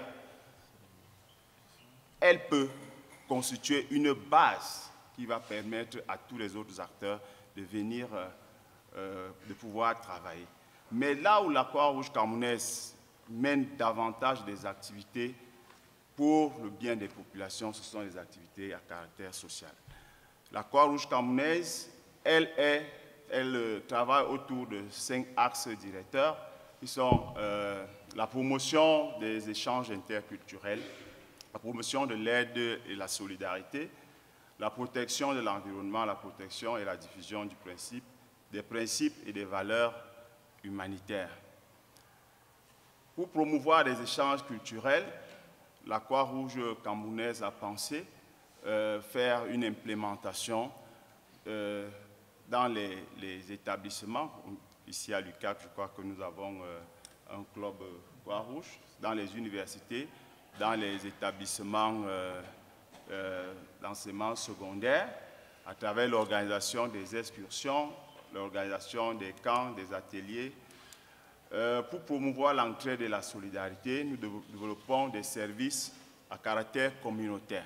Nous permettons aux communautés d'être, puisque nos volontaires vivent dans ces communautés, ils développent donc un certain nombre d'activités pour pouvoir fidéliser euh, ces, volontaires. Euh, il y a, comme je n'ai plus assez de temps, il y a beaucoup d'autres activités qui sont des activités de développement. Mais s'il y a un lieu, de faire euh, un plaidoyer aujourd'hui, il sera question de militer davantage pour euh, un financement, pour des financements qui vont permettre à la société nationale de pouvoir mener des activités, des activités de développement qui sont aussi des activités de préparation. Par exemple, si la Croix-Rouge camerounaise qui a un programme de développement des centres de santé à, base de, à caractère communautaire. Si la Croix-Rouge réussit à avoir un hôpital, par exemple dans l'extrême nord du pays, ou bien à l'est, lorsqu'il y a une crise, cet hôpital va être au service de tout le monde, l'écosystème humanitaire qui viendra travailler. Mais à partir du moment où euh, l'État n'a pas toujours la possibilité de pouvoir euh, installer les, structures sanitaires dans tous les recoins du pays, la Croix-Rouge camerounaise n'ayant pas les moyens de pouvoir euh, euh, créer ces établissements hospitaliers dans tout le pays, alors lorsqu'il y a une crise, même si les autres acteurs humanitaires vont venir s'intégrer dans la réponse, il sera absolument difficile pour tout le monde de, pouvoir travailler. Et nous pouvons donc penser que les activités de développement doivent retenir la même attention que les activités humanitaires. Autant les, ONG, autant les, toutes, tout l'écosystème humanitaire s'intéresse davantage aujourd'hui à l'humanitaire, aux, activités humanitaires, et si on rentre dans la cartographie des interventions, que ce soit à l'Est, que ce soit à l'extrême nord, pour les activités humanitaires, nous allons trouver une pléthore d'organisations qui sont prêtes et promptes à pouvoir apporter un financement. Mais la faiblesse réside donc au niveau du développement où on n'est pas toujours favorable à pouvoir financer ces activités de développement. Et nous pensons donc, pour, euh, terminer, nous pensons donc du fait qu'on vienne, que les, organisations soutiennent les activités, euh, activités de développement de la Croix-Rouge, permettra une meilleure gestion des crises qui peuvent survenir au lieu d'être, au lieu que nous soyons réactifs, on sera en ce temps-là proactif. Merci beaucoup, Monsieur le Secrétaire général adjoint. Alors maintenant, euh, je me tourne vers euh, Anne Bina Perrault. Donc, euh, Anne, vous êtes directrice de l'ONG CARE au Cameroun depuis 2005. CARE, un autre grand acteur de l'humanitaire, puisque c'est une organisation qui a été créée après la Deuxième Guerre mondiale, avec une longue présence au Cameroun. et, aussi une, une tradition d'interagir aussi avec tous les acteurs qui ont été aujourd'hui. C'est vrai que la Croix-Rouge, elle, a l'avantage d'avoir cette strate de bénévoles et d'ancrage territorial euh, qui est peut-être moins évident pour les ONG euh, internationales. Alors, euh, quelle réponse pour quelle population, vous qui êtes sur le terrain en permanence On vous écoute. bonjour à tous. Je vais vous expliquer déjà le, positionnement à partir duquel je, vais parler. Euh, je vais parler dans des acteurs euh, locaux, acteurs de développement et acteurs humanitaires, plutôt dans le champ de la société civile. Donc je vous parlerai très peu des Nations Unies, puisque c'est, je veux dire, c'est pas mon, domaine d'intervention. Voilà. Donc, euh, si on peut passer à la slide suivante. Je vais juste vous expliquer aussi un petit peu d'où part la réflexion que je vous présente euh, aujourd'hui. Euh, sur la place des acteurs dans, la réponse aux crises. Euh, donc, CARE est présent au Cameroun depuis 1978 avec une euh, grosse partie de ses projets dans la partie septentrionale du pays et à peu près un quart de ses projets qui ont touché la région de l'Est. Donc des régions qui sont aussi touchées par les crises mais où il y a un historique auparavant, avant que, les crises arrivent, surtout sur des programmes de développement. vous voyez aussi qu'on est une ONG qui est mixte puisque deux de nos programmes sont plutôt de l'ordre du développement la résilience et l'inclusion économique, et puis la santé sexuelle et reproductive, et puis un, notre troisième programme est la réponse aux urgences humanitaires, avec aussi un lien avec les aspects de relèvement post-crise. Donc c'est pour vous dire que euh, voilà, c'est à partir de ce profil-là que je vais vous présenter un petit peu les, analyses que je, que je peux vous faire par rapport aux acteurs et aux crises au Cameroun. Euh, également le fait que nous travaillons avec beaucoup d'organisations locales, d'associations, euh, avec lesquelles euh, nous avons des partenariats de plus en plus conséquents, qu'ils soient à la fois opérationnels mais aussi de plaidoyer, plaidoyer local ou plaidoyer national, des contrats pluriannuels, des acteurs locaux sur lesquels reposent parfois des programmes très important, pouvait en aller à plusieurs centaines de, milliers d'euros euh, sur des contrats pluriannuels.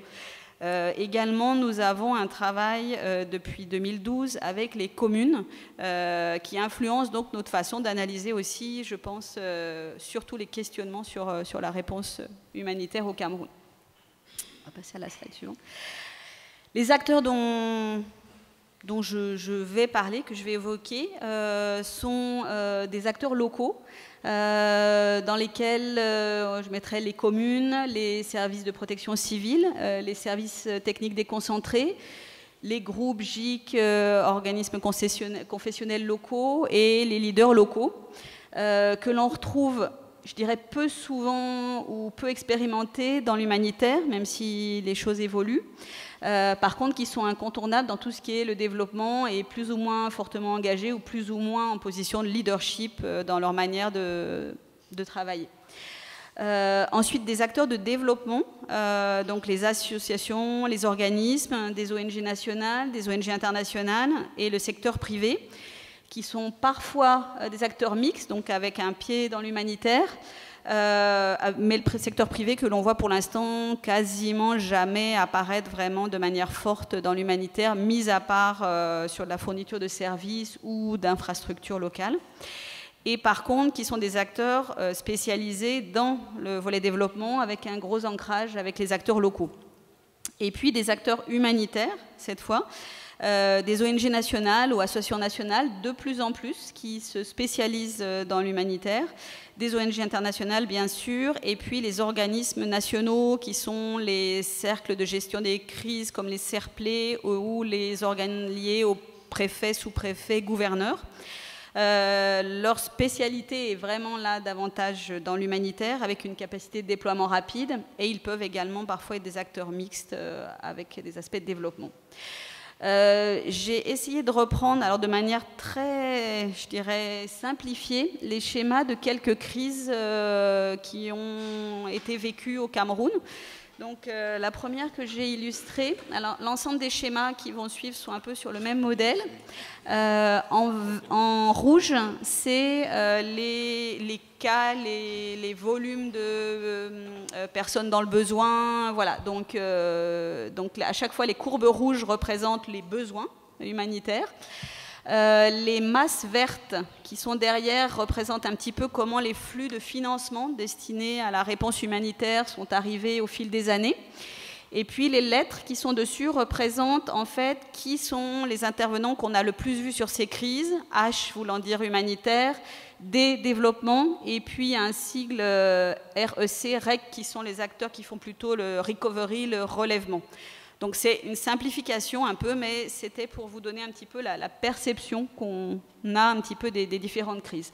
Donc la première est la, crise qui était liée au choléra, qui avait touché neuf régions euh, du Cameroun, une crise massive qui s'est déroulée euh, entre 2010 et 2012, euh, qui est montée mi-année 2010 avec au départ euh, pas beaucoup d'interventions. C'est pour ça que les acteurs sont un peu clairsemés et à cette période-là, pas beaucoup non plus d'acteurs humanitaires euh, présents. Euh, certes, la Croix-Rouge camerounaise, MSF, mais qui avait aussi parfois des, volets développement dans, leurs activités. Donc c'est une crise. J'ai pointé une flèche en or parce qu'au tout début, il y a vraiment eu une réaction retardée et ce qui fait que sur le choléra, ça se paye cher, puisqu'en fait, les cas augmentent de manière très très rapide. Et on s'est retrouvé avec des volumes de cas de choléra énormes et des taux de létalité aussi vraiment très hauts qui ont été très difficiles à juguler, même si après l'action s'est mise en route avec euh, toujours une, petite présence humanitaire, beaucoup d'acteurs de développement et de services déconcentrés de l'État à la manœuvre, et qui ont fait qu'au bout de deux ans, après avoir tracé les différentes régions et des résurgences, l'épidémie s'est arrêtée. Euh, l'autre crise que j'ai illustrée, c'est celle des réfugiés de RCA, euh, la crise qui, euh, elle, a repris en 2015.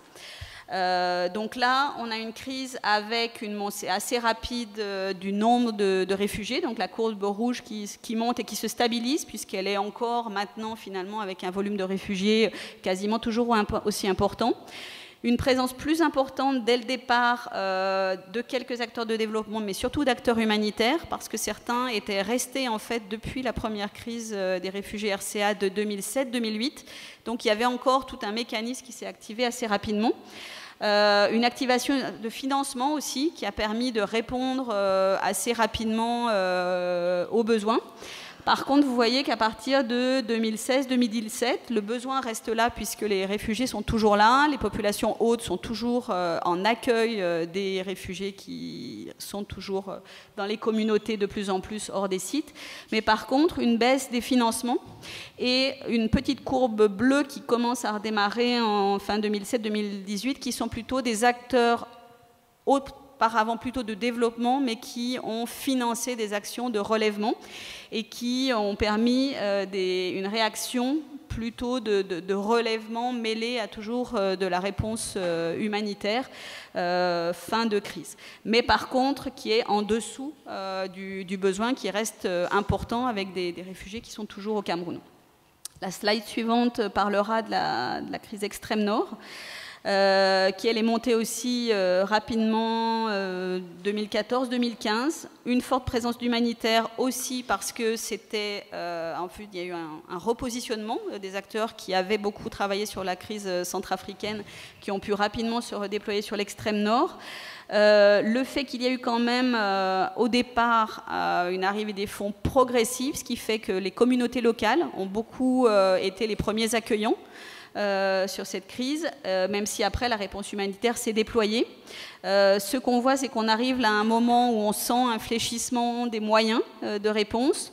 par contre, des volumes de déplacés internes toujours très importants, des volumes de réfugiés également qui n'ont pas forcément beaucoup baissé un début euh, en 2017-2018 de euh, financement euh, de type un peu relèvement, travail sur la, stratégie de sortie de crise avec des bailleurs aussi de type anciennement développement, mais qui ont adapté leurs outils entre autres euh, l'AFD, l'Union européenne, euh, la Banque mondiale, euh, et qui essaie de prendre le relais à une période où on sent une, baisse importante des, financements humanitaires, alors que le besoin est toujours très volumineux et où s'il y a eu quelques réfugiés qui sont rentrés ou il y a quand même maintenant tout le phénomène des retournés, euh, qui soient retournés de l'extérieur du pays vers le Cameroun ou d'anciens déplacés euh, qui, retournent à leur village d'origine ou dans d'autres zones.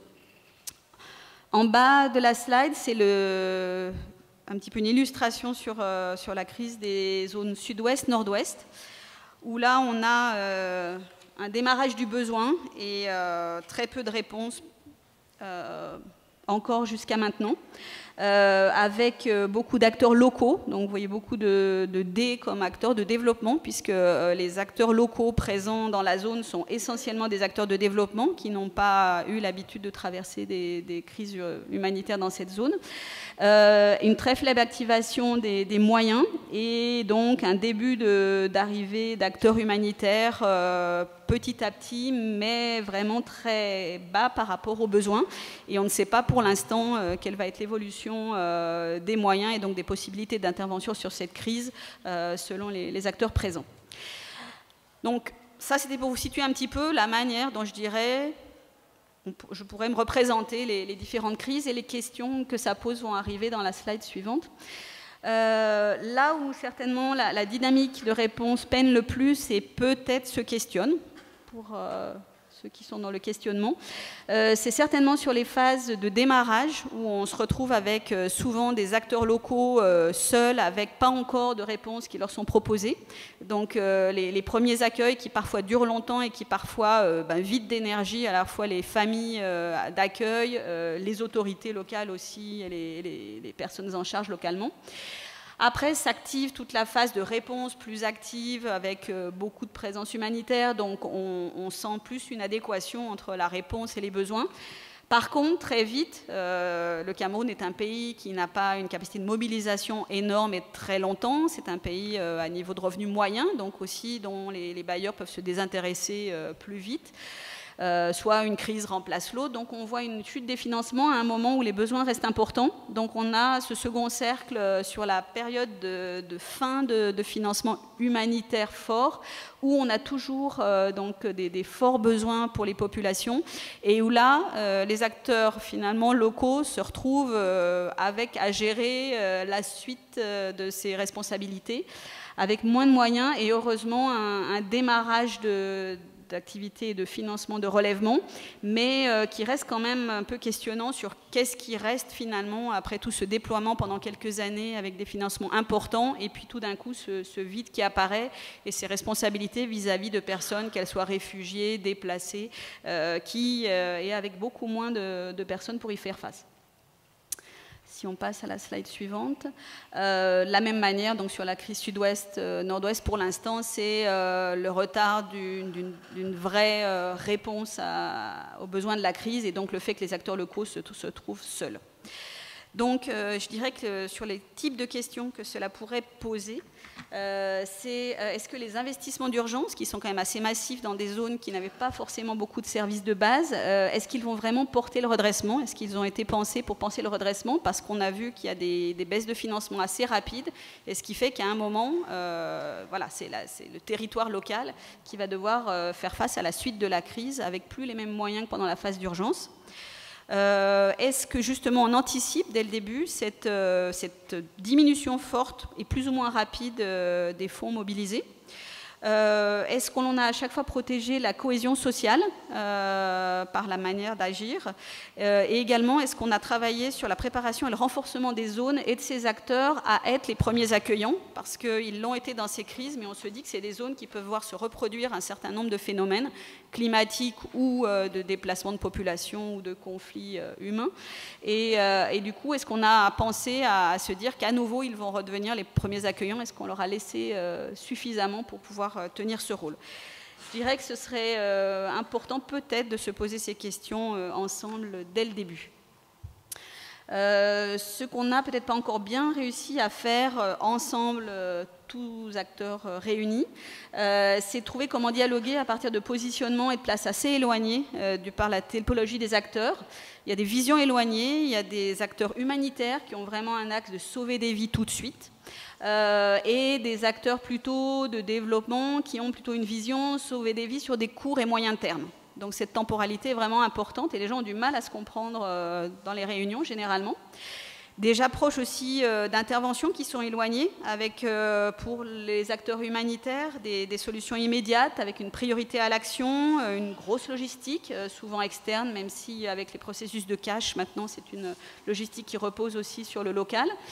Et puis du côté des acteurs de développement, plutôt des logiques inclusives, euh, construites avec le temps, avec des moyens plus réduits et des moyens locaux. Euh, donc euh, l'idée, ce qu'on n'a pas encore très bien fait, probablement, c'est de valoriser les plus-values respectives, savoir évaluer les plus de chacun de ces acteurs, parce qu'on le voit, c'est difficile de compter sur seulement les uns ou seulement les autres dans les crises que traverse le Cameroun. Mais déjà, on peut constater qu'il y a un souci collectif d'être plus efficient et, une envie de s'améliorer. Donc, c'est déjà le, début des peut-être des pistes de solutions. Euh, ce qui pourrait certainement être gagné par rapport à la réponse actuelle aux crises en ajustant euh, un peu différemment les places de chacun de ces acteurs via un dialogue et en tirant les leçons de l'expérience. Euh, je dirais des aspects de cohésion sociale plus fortes et d'hospitalité aux crises, crises futures. Des aspects de coefficacité et de gain sur la phase de relèvement.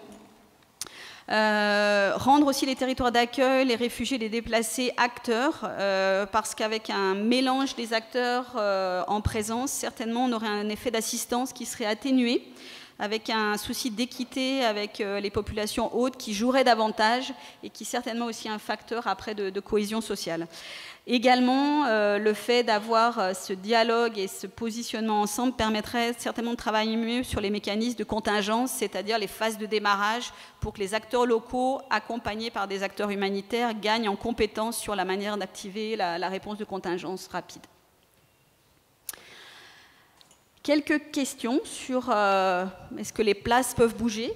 Est-ce qu'on prêt à donner plus de place au lead local et à l'accompagner?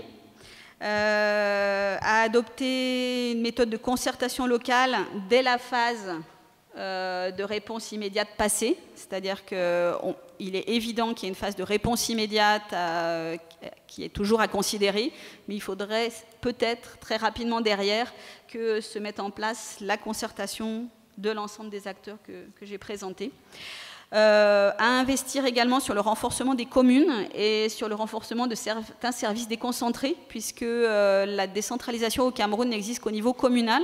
Donc ça veut dire que pour les échelons un petit peu plus euh, départementaux, régionaux, nous n'avons pas d'acteurs décentralisés. Par contre, il y a des représentants des services de l'État que ce soit ceux en charge de la protection civile ou ceux en charge du développement, donc le MINEPAT, la direction de la protection civile, les préfets, les sous-préfets. Donc est-on prêt à investir sur ces acteurs? De la coordination locale. Euh, accepterait-on de soumettre aux communes et aux représentants des communautés le choix des approches disponibles de leur présenter des panels d'approche, qu'elles soient immédiates, court terme ou plus moyen terme, et dans le cadre de concertation locale, définir ensemble la stratégie à mettre en œuvre plutôt que de passer un petit peu rapidement sur cette étape-là. Euh, également, peut-on penser à la réponse humanitaire sous une forme de, cible spécifique à mettre en valeur au sein de réponses sectorielles qui adressent toute la population d'une zone? Toutes les crises au Cameroun sont tombées sur des zones où il y a euh, des services de base en difficulté, avant même la crise. Euh, donc, il y a peut-être à réfléchir le fait d'approches sectorielles qui, euh, bien sûr, font la place aux déplacés, aux, euh, aux réfugiés, aux retournés, mais dans une considération de la population générale. très, franchement, quand vous regardez une zone comme l'extrême nord, vous avez 3,5 millions et quelques de populations qui n'ont pas accès aux services de base à un niveau qui est satisfaisant. Euh, certes, c'est important de mettre l'accent sur des déplacés, des réfugiés, qui sont un certain nombre, volumineux, plusieurs centaines de milliers, mais il faut toujours avoir en tête qu'il y a quand même 3,5 millions de personnes qui sont dans des conditions de vie euh, guère plus favorables, mis à part euh, quelques personnes qui s'en sortent mieux. Donc c'est peut-être important de, le réfléchir aussi pour, voilà, pour avoir une avancée des, sur les aspects de vulnérabilité, euh, plutôt peut-être que des thématiques humanitaires euh, ou développement, mais quelque chose de, voilà, qui mêle les deux avec des critères d'analyse de vulnérabilité. Est-ce qu'on sent déjà des, évolutions des places? Donc, euh, pour ça, certainement, la reconnaissance et l'appui à un leadership local serait probablement une clé pour rendre plus efficientes et coordonner les places et les interventions de chaque acteur au service des populations ayant euh, le plus de besoins vitaux, donc avec une analyse collective euh, des cibles ayant le plus de besoins vitaux. Ce serait peut-être le, moyen de s'entendre euh, pour, avancer. pour le moment, chacun avance, encore certainement en rang dispersé, même si on voit apparaître, je dirais, certaines approches qui donnent un caractère un peu plus mixte à la réponse aux crises. Euh, la voix, l'analyse des communes, euh, des, des des, voilà, des, organismes qui, qui, localement sont en charge euh, de, la responsabilité des populations est un peu plus reconnue, même s'il il peut y avoir encore des moments où elle est mise en doute. des consortiums d'acteurs qui se sont unis et qui donnent aussi un caractère plus mixte à la, conception de, la réponse, surtout en phase un petit peu préparation de la post-crise. Euh, le maintien et l'affectation des fonds du secteur développement et redressement, qui sont des fonds souvent beaucoup plus significatifs que ce qui arrive sur euh, les fonds humanitaires.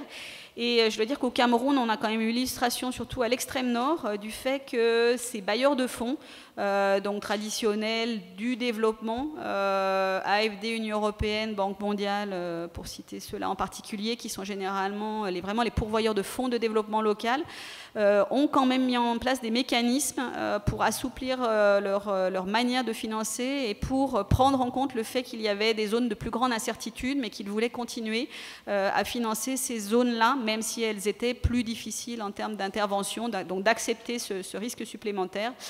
Et ça, ça permet certainement qu'une plus grande diversité d'acteurs traditionnels et plus nouveaux puissent vraiment euh, discuter ensemble euh, et s'allier pour travailler ensemble.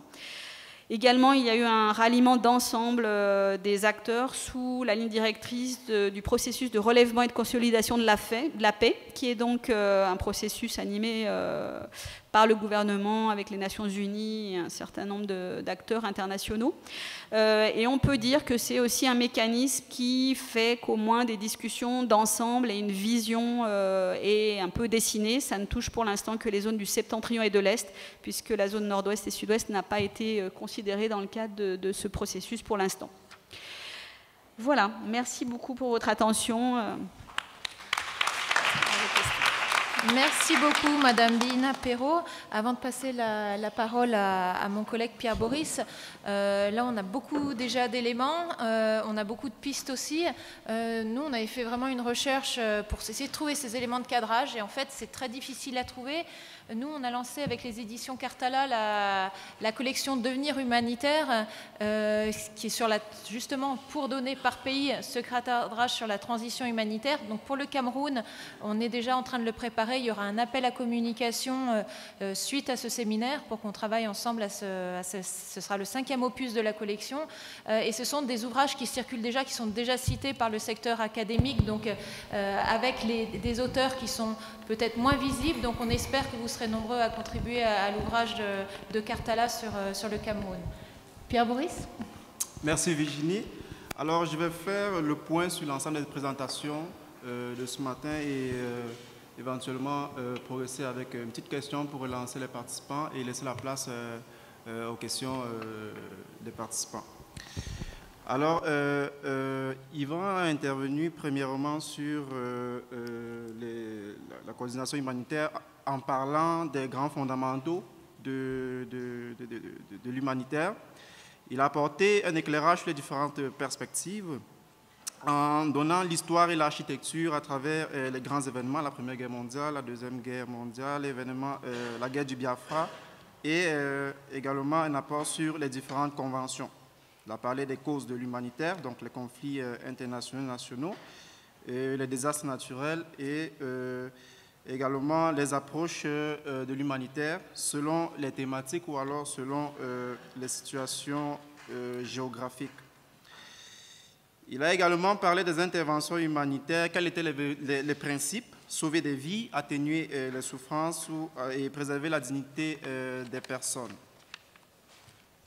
les acteurs humanitaires, de quel ordre sont-ils? Ben, sont, euh, ce sont les États, ce sont les Nations Unies, les organisations internationales, régionales, nationales, les ONG et, même les individus. Il y a donc aussi un, un cadrage juridique. Ici, on va parler euh, de droits humanitaires comme le droit de la guerre, droit international humanitaire, le droit des réfugiés, euh, des personnes déplacées, les droits de l'homme et les droits des personnes ou des groupes vulnérables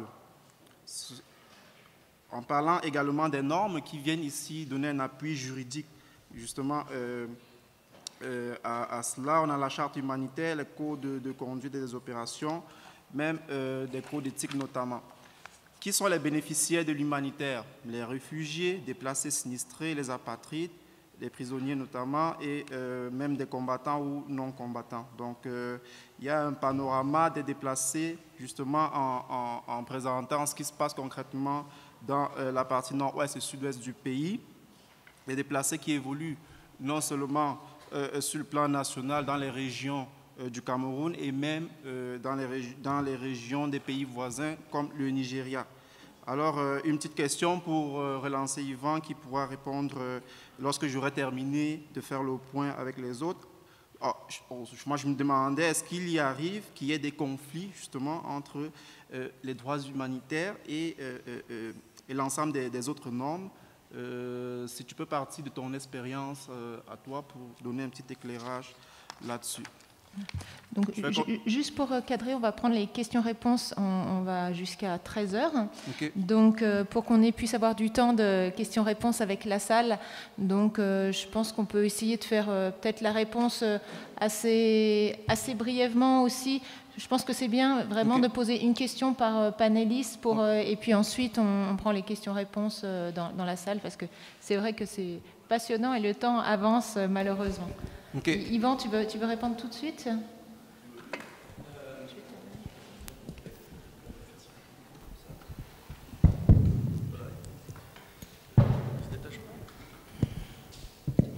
Je détache pas, c'est pas grave. Si j'ai bien compris, la question, c'est est-ce qu'il y a une différence entre les droits humanitaires et l'ensemble des autres normes? Est-ce qu'il peut y avoir des conflits euh, dans l'application de ces droits? Non. Ce que je veux dire par là, c'est qu'il peut y avoir une interpénétrabilité de différentes règles normatives sur un même espace. Tout simplement parce que la qualification des personnes dans leur nature, de, savoir si elles sont des réfugiés ou des apatrides, ou des sinistrés fait qu'un certain nombre d'organisations vont disposer d'un mandat d'intervention qui va en priorité les orienter vers telle catégorie, telle catégorie, telle catégorie. Donc c'est une approche, je dirais, sectorielle, mais cette approche sectorielle, à la fin, aujourd'hui, rentre en, pénétration avec une approche beaucoup plus droit de l'homiste, où on considère que les droits dans leur ensemble euh, ciblent non seulement les personnes ciblées par l'intervention de par leur nature, mais aussi l'ensemble des populations affectées, comme l'a montré très bien Anne tout à l'heure dans sa présentation sur le Nord, en disant que la recherche d'une solution ne passe pas par un travail en silo, mais qu'elle passe par une pénétrabilité de ces différents droits au profit d'une population donnée dans son ensemble et non pas de manière trop spécifique. Ok. Je vais m'arrêter là pour l'instant.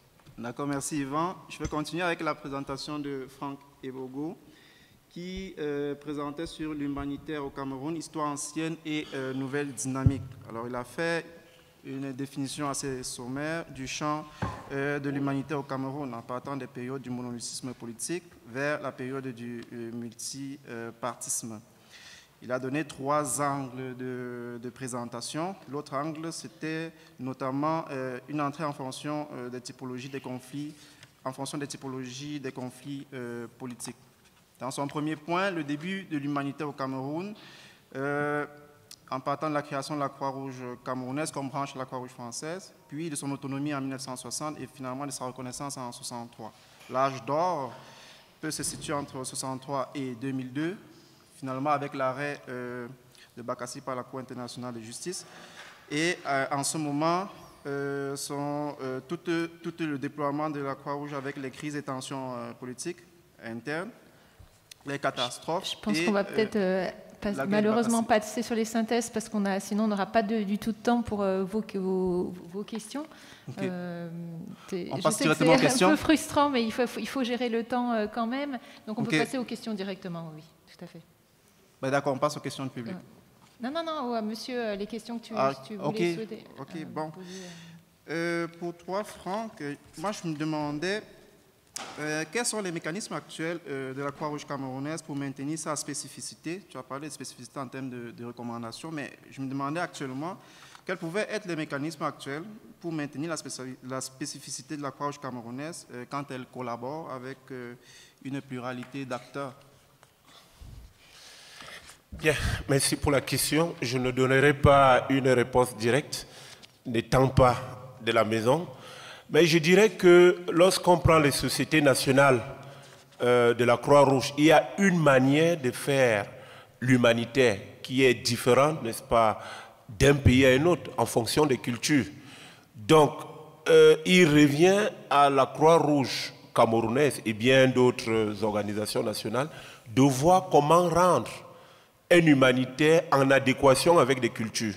Parce qu'il y a des gestes humanitaires qu'on peut poser euh, en direction des populations qui peuvent être mal interprétées.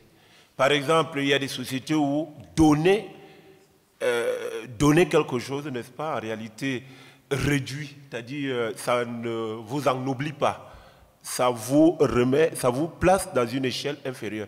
Donc il s'agit de voir comment inventer un modèle de l'humanitaire propre au Cameroun. Je ne parle pas en termes de dons, mais en termes de signification. Quelque chose qui soit spécifique qui euh, soit, si vous voulez, le label camerounais par rapport à d'autres organisations. Donc c'est vraiment un travail à faire. Parce que si vous avez la Croix-Rouge française, de côté, vous avez la Croix-Rouge congolaise ou bien camerounaise, quelle est la spécificité? Si c'est au niveau des principes, ce sont les mêmes. Mais au niveau des actions sur le terrain, on devrait pouvoir les, euh, euh, si vous voulez, les distinguer parce qu'il y a une manière de faire l'humanitaire euh, en fonction des cultures, en fonction des, bénéficiaires qu'on a, a en face. Donc c'est là que je voulais relever ici. Moi, je n'ai pas un modèle, je n'ai pas de recettes à donner, mais c'est chaque société qui s'invente en adéquation avec les principes euh, de l'humanitaire. D'accord, merci beaucoup. Euh, je vais passer à la présentation de Jean Urbain qui intervenait sur l'approche camerounaise entre le local et le global. Vous avez présenté un ensemble d'activités euh, qui étaient d'ordre humanitaire et des activités qui étaient d'ordre euh, social.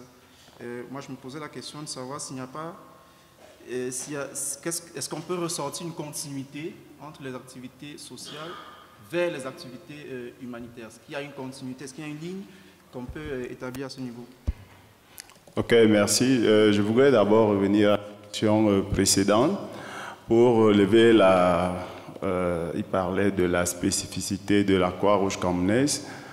Euh, je voulais dire que euh, la Croix-Rouge camerounaise voudrait justement s'imposer comme euh, se présenter comme une société nationale qui est au service des communautés. Alors le premier défi, c'est de, former le maximum de volontaires secouristes et d'élargir son maillage territorial. La Croix-Rouge est constituée de 58 comités départementaux euh, plus de 300 comités d'arrondissement, mais nous continuons de penser que euh, du fait que nous ayons une de 50 000 volontaires et dans les 20 000 volontaires actifs, c'est insuffisant pour un pays aussi grand que le Cameroun. Il est question davantage de se retrouver du côté des communautés. Nos volontaires secouristes vivent au sein des communautés et ils doivent ressentir la présence des, des, secouristes de la Croix-Rouge dans leur vie de tous les jours.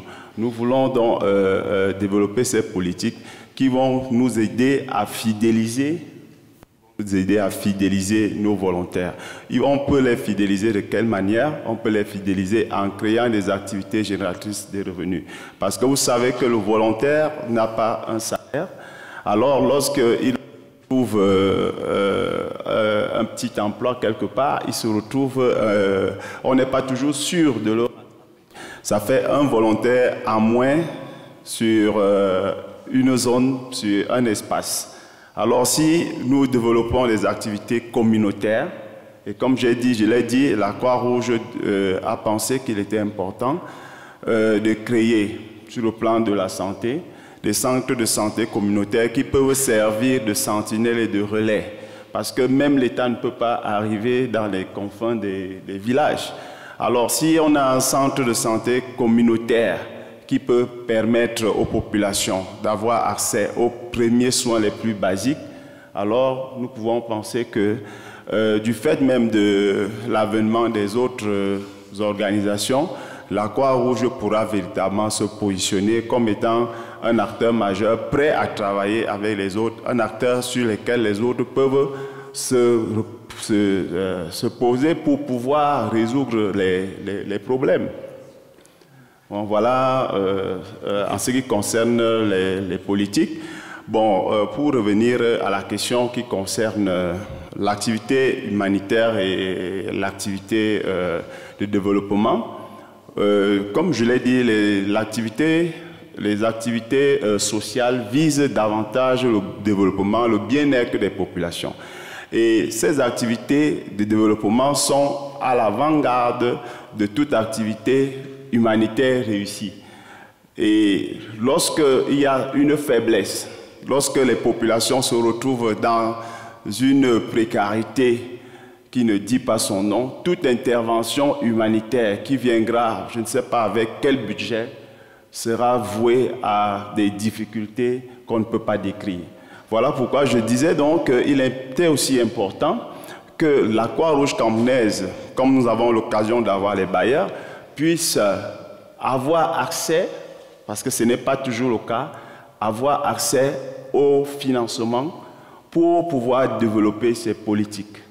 Alors, une fois, euh, si nous revenons sur sur la cartographie des crises au Cameroun, vous allez donc vous rendre compte que la partie sud du Cameroun euh, n'est pas encore concernée par, euh, par une crise. Alors, la Croix-Rouge aussi a des faiblesses à ce niveau. Le jour où il y aura une crise, elle sera difficile l'intervention sera difficile, même si elle est coordonnée, elle sera difficile. Voilà pourquoi nous avons donc pensé que l'activité sociale, qui est une activité de développement, devrait précéder l'activité humanitaire. Au lieu de réagir, il faut plutôt agir, il faut plutôt prévoir. Oui, voilà. Ok, c'est parfait. Merci, euh, Jean-Hubin.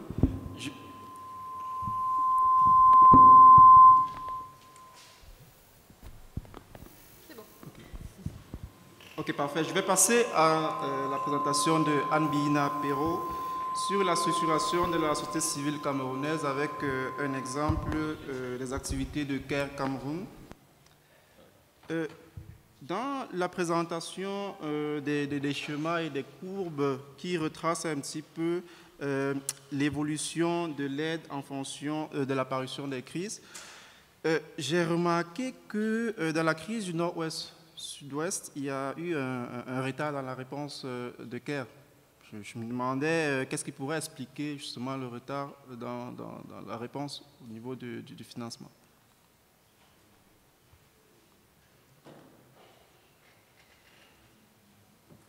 Alors, je ne sais pas si j'ai de réponse, puisqu'on est encore tous en train de se demander pourquoi euh, les choses arrivent lentement, l'ensemble, je dirais, des, acteurs humanitaires. Bon, il y a eu un, moment où, la crise n'était pas reconnue comme une crise, même si la plupart des acteurs présents dans le pays euh, voyaient les volumes des besoins et la sévérité euh, des besoins dans un certain nombre de secteurs.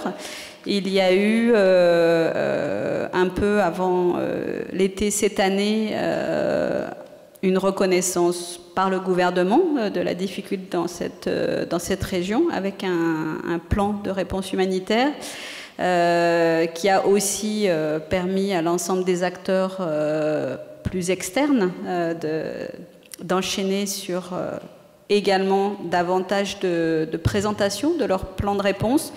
Maintenant, il y a euh, une, comment dire, une prudence extrême des bailleurs de fonds, manifestement, euh, à peut-être euh, déployer les financements sur cette zone. Au départ, c'était pour des questions certainement d'accès, de capacité de réponse. maintenant, il y a peut-être des enjeux plus autour d'autres questions la capacité de mener des actions en toute neutralité. Euh, voilà. Donc on sent qu'il y, a un certain retard. C'est difficile de démêler le tout. En tout cas, c'est vrai que pour l'instant, les moyens d'action sont euh, bien légers par rapport au, volume des besoins très importants euh, sur cette zone. Ok, ok, c'est parfait. Là, ça, ça fait le tour des questions. On va ouvrir les questions au public maintenant. Est-ce qu'il y a des questions? On pourrait prendre une série de trois questions hein, et euh, laisser le temps aux participants de, aux, présent, aux gens qui présents de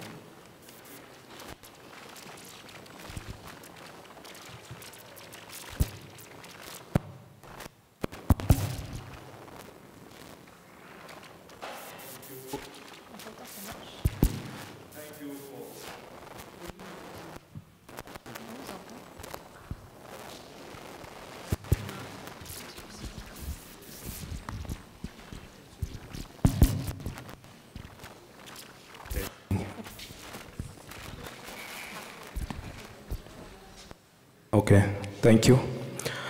I'm called Julius Tatamfo, lecturer at the University of Chang. I would love to appreciate this uh, forum and to say that having the privilege to come from one of the crisis zone, that is the northwest region, and very far at the frontier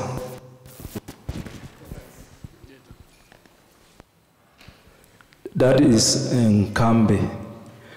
I think it is through this forum, such forum, that we can really address crisis in the Earth planet.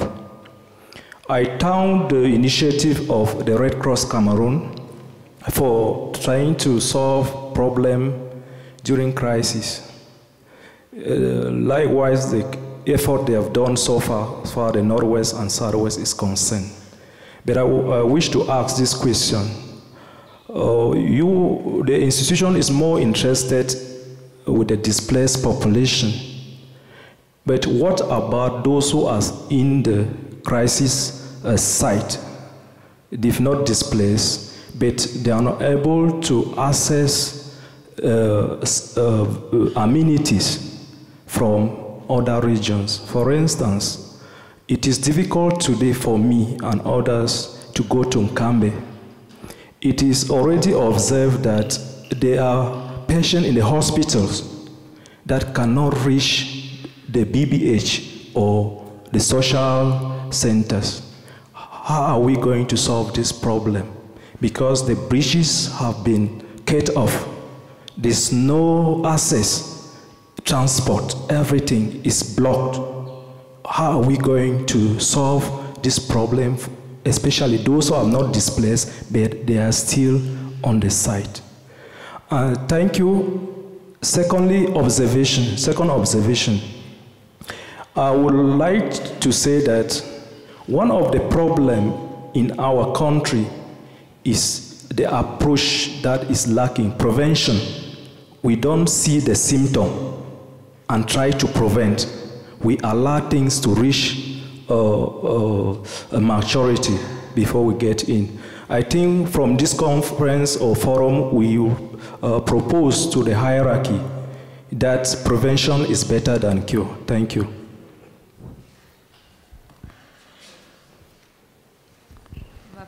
Deux autres questions.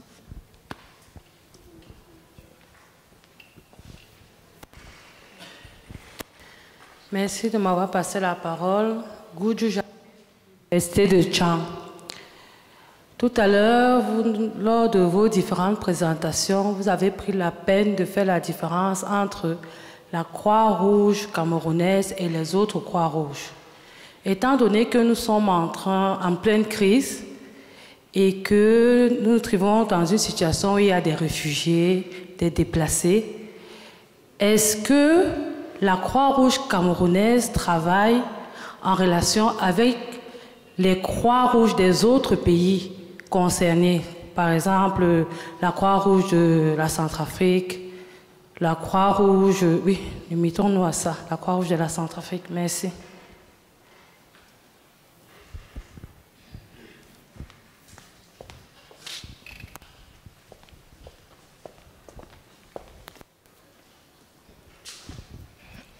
Merci. Calvin Mifegue, UCAC. J'avais deux questions rapides. La première, c'est pour le docteur Franck Ebogo. Je voulais savoir s'il est factuellement possible de faire une histoire de l'humanité au Cameroun en dehors de la figure de la Croix-Rouge camerounaise. C'est la première. Et la deuxième question euh, est à l'endroit de M. Ubonzoa. Elle fait un peu écho à la question posée par Boris. Est-ce qu'il est stratégiquement et peut-être aussi pratiquement euh, opportun en temps d'urgence ou de crise de dissocier action de développement et action humanitaire. Et là, ça revient sur la question de la continuité entre social, humanitaire et développement. Est-ce que c'est pratiquement, stratégiquement opportun de les dissocier au moment d'agir? Merci.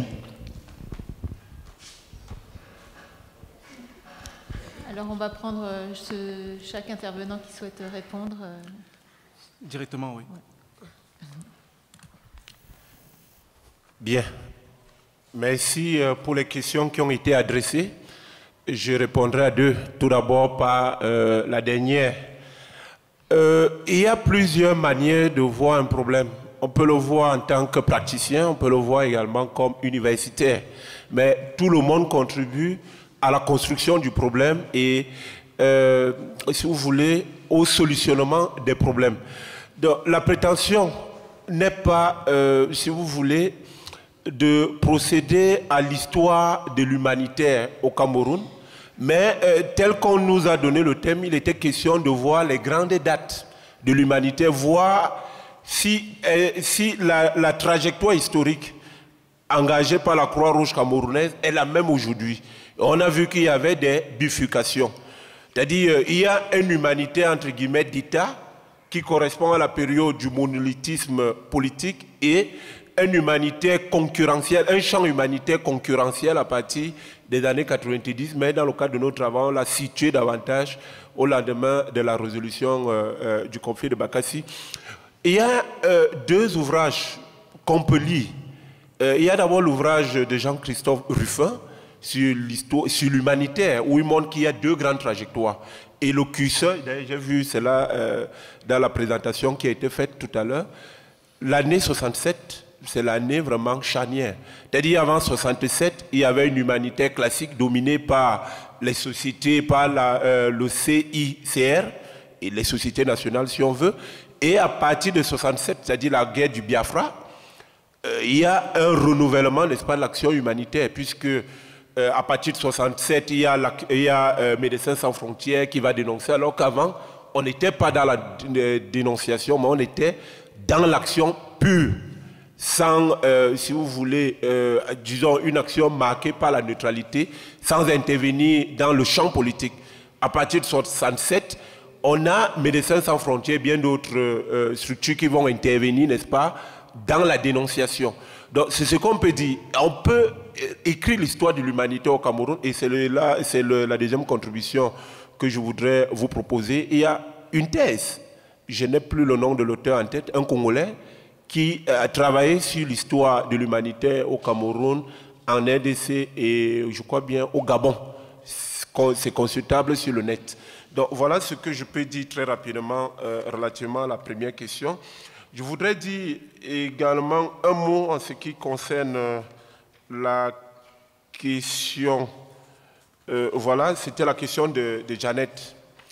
Euh, euh, le champ humanitaire concurrentiel, on l'a dit ici, c'est-à-dire la Croix-Rouge n'intervient plus seule. La Croix-Rouge n'est même plus, je vais le dire en ce qui concerne la question des réfugiés, n'est pas le principal, si vous voulez, la principale structure.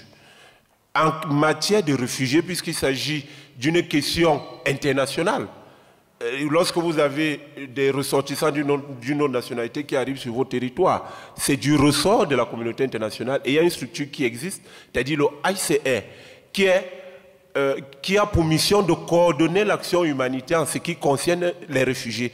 Mais comme le HCR ne peut pas tout faire, il y a la question de la santé des réfugiés. L'OMS va intervenir, la nutrition, le PAM va intervenir. Et comme ces structures ne peuvent pas également intervenir directement sur le terrain. Et ces organisations sous-traitent avec les ONG locales qui peuvent mieux soit construire les abris, la distribution des vivres, etc. etc. Donc vraiment, c'est un univers concurrentiel qui m'enseigne une pluralité d'acteurs. Ne voyez pas cela en termes de la Croix-Rouge camerounaise, si ce sont les réfugiés centrafricains, et la Croix-Rouge, euh, euh, si vous voulez, centrafricaine, mais vraiment, c'est un univers concurrentielle, et pour finir, qui m'enseigne euh, les agences humanitaires, on l'a dit ici, les ONG humanitaires, les administrations nationales et la Croix-Rouge camerounaise. Merci. Ok, c'est parfait. On va peut-être répondre à la toute première question qui a été posée sur qu'est-ce qu'on fait, que fait l'institution pour ceux qui, sont, qui ne sont pas déplacés concernant les, conflits au nord-ouest, sud-ouest? Ok. Pour revenir, euh, je voudrais d'abord revenir à la, préoccupation de Madame pour euh, compléter.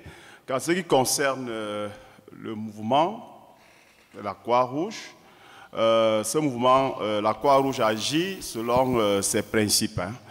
Donc, vous avez fait référence à la Croix-Rouge centrafricaine, la Croix-Rouge des autres pays. Alors, je voudrais dire que sur le sol camerounais, euh, il y a ce qu'on appelle, hein, c'est dans tous les pays, la cohésion du mouvement. Toutes les, composantes de la Croix-Rouge agissent selon les principes. Et l'un des principes fondateurs, c'est un principe d'unité. Alors, euh, lorsqu'il y a eu des interventions euh, à faire sur le terrain, sur le plan humanitaire, que ce soit la Croix-Rouge française, qui est une société nationale participante, que ce soit le CICR ou bien la Fédération, ou bien les autres sociétés nationales, ou bien la Croix-Rouge camerounaise elle-même, nous agissons euh, ensemble. Donc il n'y a pas deux Croix-Rouges dans un, même pays. Les principes sont exactement les mêmes.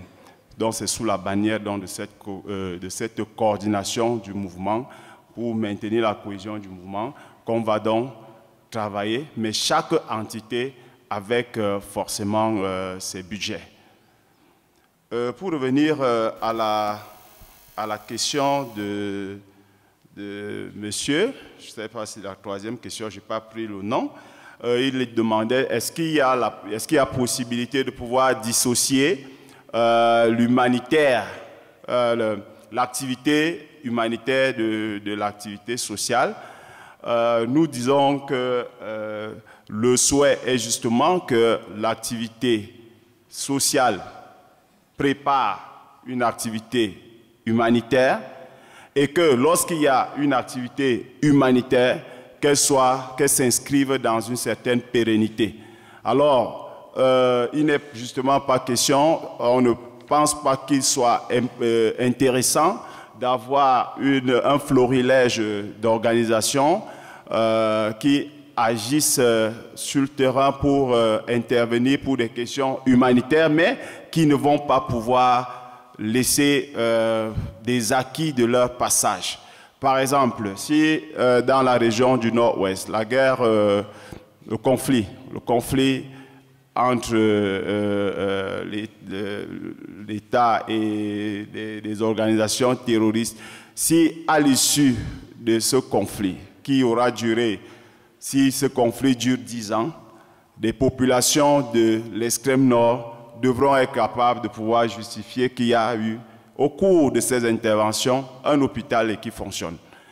Mais si des interventions à caractère humanitaire sont ponctuelles, alors il y a des chances que les, populations retombent dans les mêmes travers, retombent dans la même vulnérabilité si jamais une question, euh, une préoccupation humanitaire en vient à, se poser. Alors voilà pourquoi nous pensons donc en s'inscrivant dans la pérennité, dans les actions pérennes, en posant, euh, en mutualisant les forces, en coordonnant les activités entre les différentes organisations, on est justement donc capable de pouvoir s'inscrire dans cette pérennité où on ne sera donc plus véritablement capable de circonscrire l'activité sociale de l'activité humanitaire. Pour revenir à la question de, monsieur, oui, euh, il a parlé de la question des, populations qui n'arrivent pas à accéder aux, structures de base, de santé de base, du fait euh, de, la situation sur le terrain, des difficultés sur le terrain. Ça reste un défi euh, pour la Croix-Rouge, comme nous l'avons dit, parce qu'il se pose un problème d'acceptation à partir du moment où la société nationale est acceptée, à partir du moment où les volontaires secouristes qui vivent au sein des communautés sont acceptés de tout le monde, alors ils peuvent être capables de pouvoir aider ces populations. Mais lorsqu'on se retrouve dans, une, dans un conflit qui est pratiquement asymétrique, c'est-à-dire qu'il n'y a pas euh, euh, un ennemi identifiable, visible, avec qui on peut, par exemple, négocier. Lorsqu'on n'a pas un ennemi dont on maîtrise véritablement le mode opératoire, il devient dangereux pour tout le monde, même les volontaires, de pouvoir accéder, de pouvoir accéder euh, sur, euh, sur des sites pour pouvoir aider. Voilà pourquoi nous pensons qu'il est plus que jamais important de continuer le maillage territorial de la, Croix-Rouge, de faire accepter de faire accepter le mouvement au sein des communautés. De ce point de vue, il, ne constitue, il constitue cette confiance peut donc davantage aider, aider nos volontaires, nos volontaires secouristes à remplir la mission, c'est-à-dire pouvoir euh, se, mettre, porter secours à ceux qui sont euh, dans une situation de grande vulnérabilité. Merci. Alors je crois on va il y a beaucoup de questions qu'on ne va pas avoir le temps de prendre, mais ce va, cet après-midi on continue sur les mêmes thématiques. On va juste aller plus en profondeur. Donc je pense qu'elles seront aussi euh, valables cet après-midi. Donc on va on va continuer le débat. Sinon cet après-midi on n'aura plus de temps du tout pour les questions-réponses. donc euh, Yvan euh, et, Anne, est-ce que vous souhaitez rajouter quelque chose en conclusion de cette table ronde? Puis après, on va les. Je, voudrais parler de la place de la Croix-Rouge. Et je ne suis pas Croix-Rouge, et donc j'en parle comme observateur extérieur et évaluateur. Jamais une Croix-Rouge n'est aussi forte que quand l'État lui donne tout l'espace dont elle a besoin pour exercer son pouvoir sur un, espace, sur un territoire donné. Et l'exemple que je voudrais mentionner, c'est celui de la Turquie. La Turquie aujourd'hui, c'est le premier pays hôte de réfugiés de la planète. Si vous regardez le financement humanitaire déclaré par la Turquie, la Turquie investit 8 milliards de dollars en appui aux 3,5 millions de réfugiés syriens et autres, irakiens, afghans, qui sont sur son territoire. Quel est le principal acteur, moteur, capital, essentiel en Turquie? La Croix-Rouge turque, Kizilay. Pourquoi est-ce que cet acteur a une place quasi monopolistique dans l'occupation de l'espace humanitaire et dans la gestion des camps de réfugiés? Il y a 20 camps, 300 000 réfugiés, et il y a 3 millions de Syriens qui sont disséminés sur un espace gigantesque. Il y a 80 provinces en Turquie. Tout simplement parce que l'État turc a délibérément écarté doucement et diplomatiquement tous les autres acteurs. Il est quasiment impossible de rentrer comme ONG internationale aujourd'hui en Turquie. Médecins du Monde, je ne sais pas s'il y a des représentants ici, s'est fait gentiment mis dehors, mais il a eu l'intelligence de créer une structure nationale pour subsister. Trois organisations humanitaires médicales internationales se sont fait jeter de Turquie l'année dernière. Qui a repris le relais? Logiquement, la Croix-Rouge turque. Il en est de même pour l'espace qui a été donné aux organisations des Nations Unies, qui ont un espace très limité. Le HCR a un budget limité et n'intervient absolument pas directement dans la gestion des réfugiés.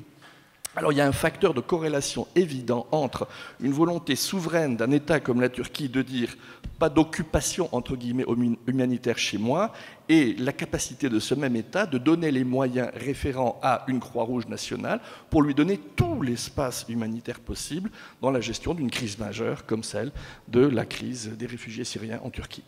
Merci beaucoup, Yvan. Euh, juste pour préciser, c'est le croissant rouge turc et, non pas euh, la, croix rouge. Euh, Anne, vous souhaitez ajouter quelque chose?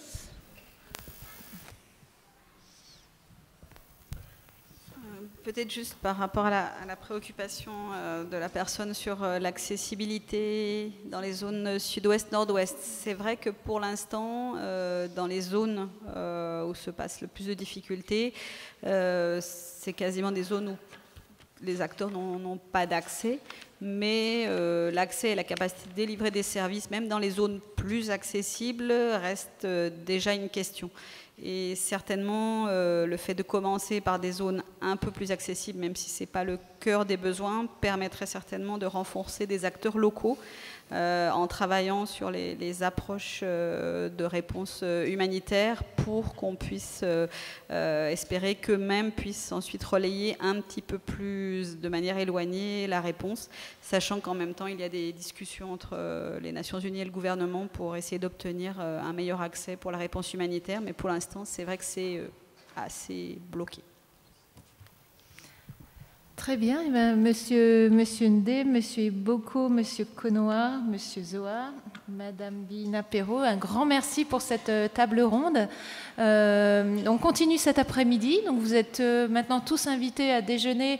Vous sortez, vous prenez le grand escalier et la salle de restauration est juste en bas.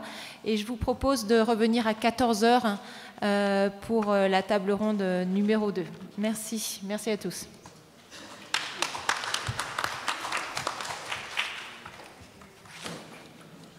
Merci Franck. Oh.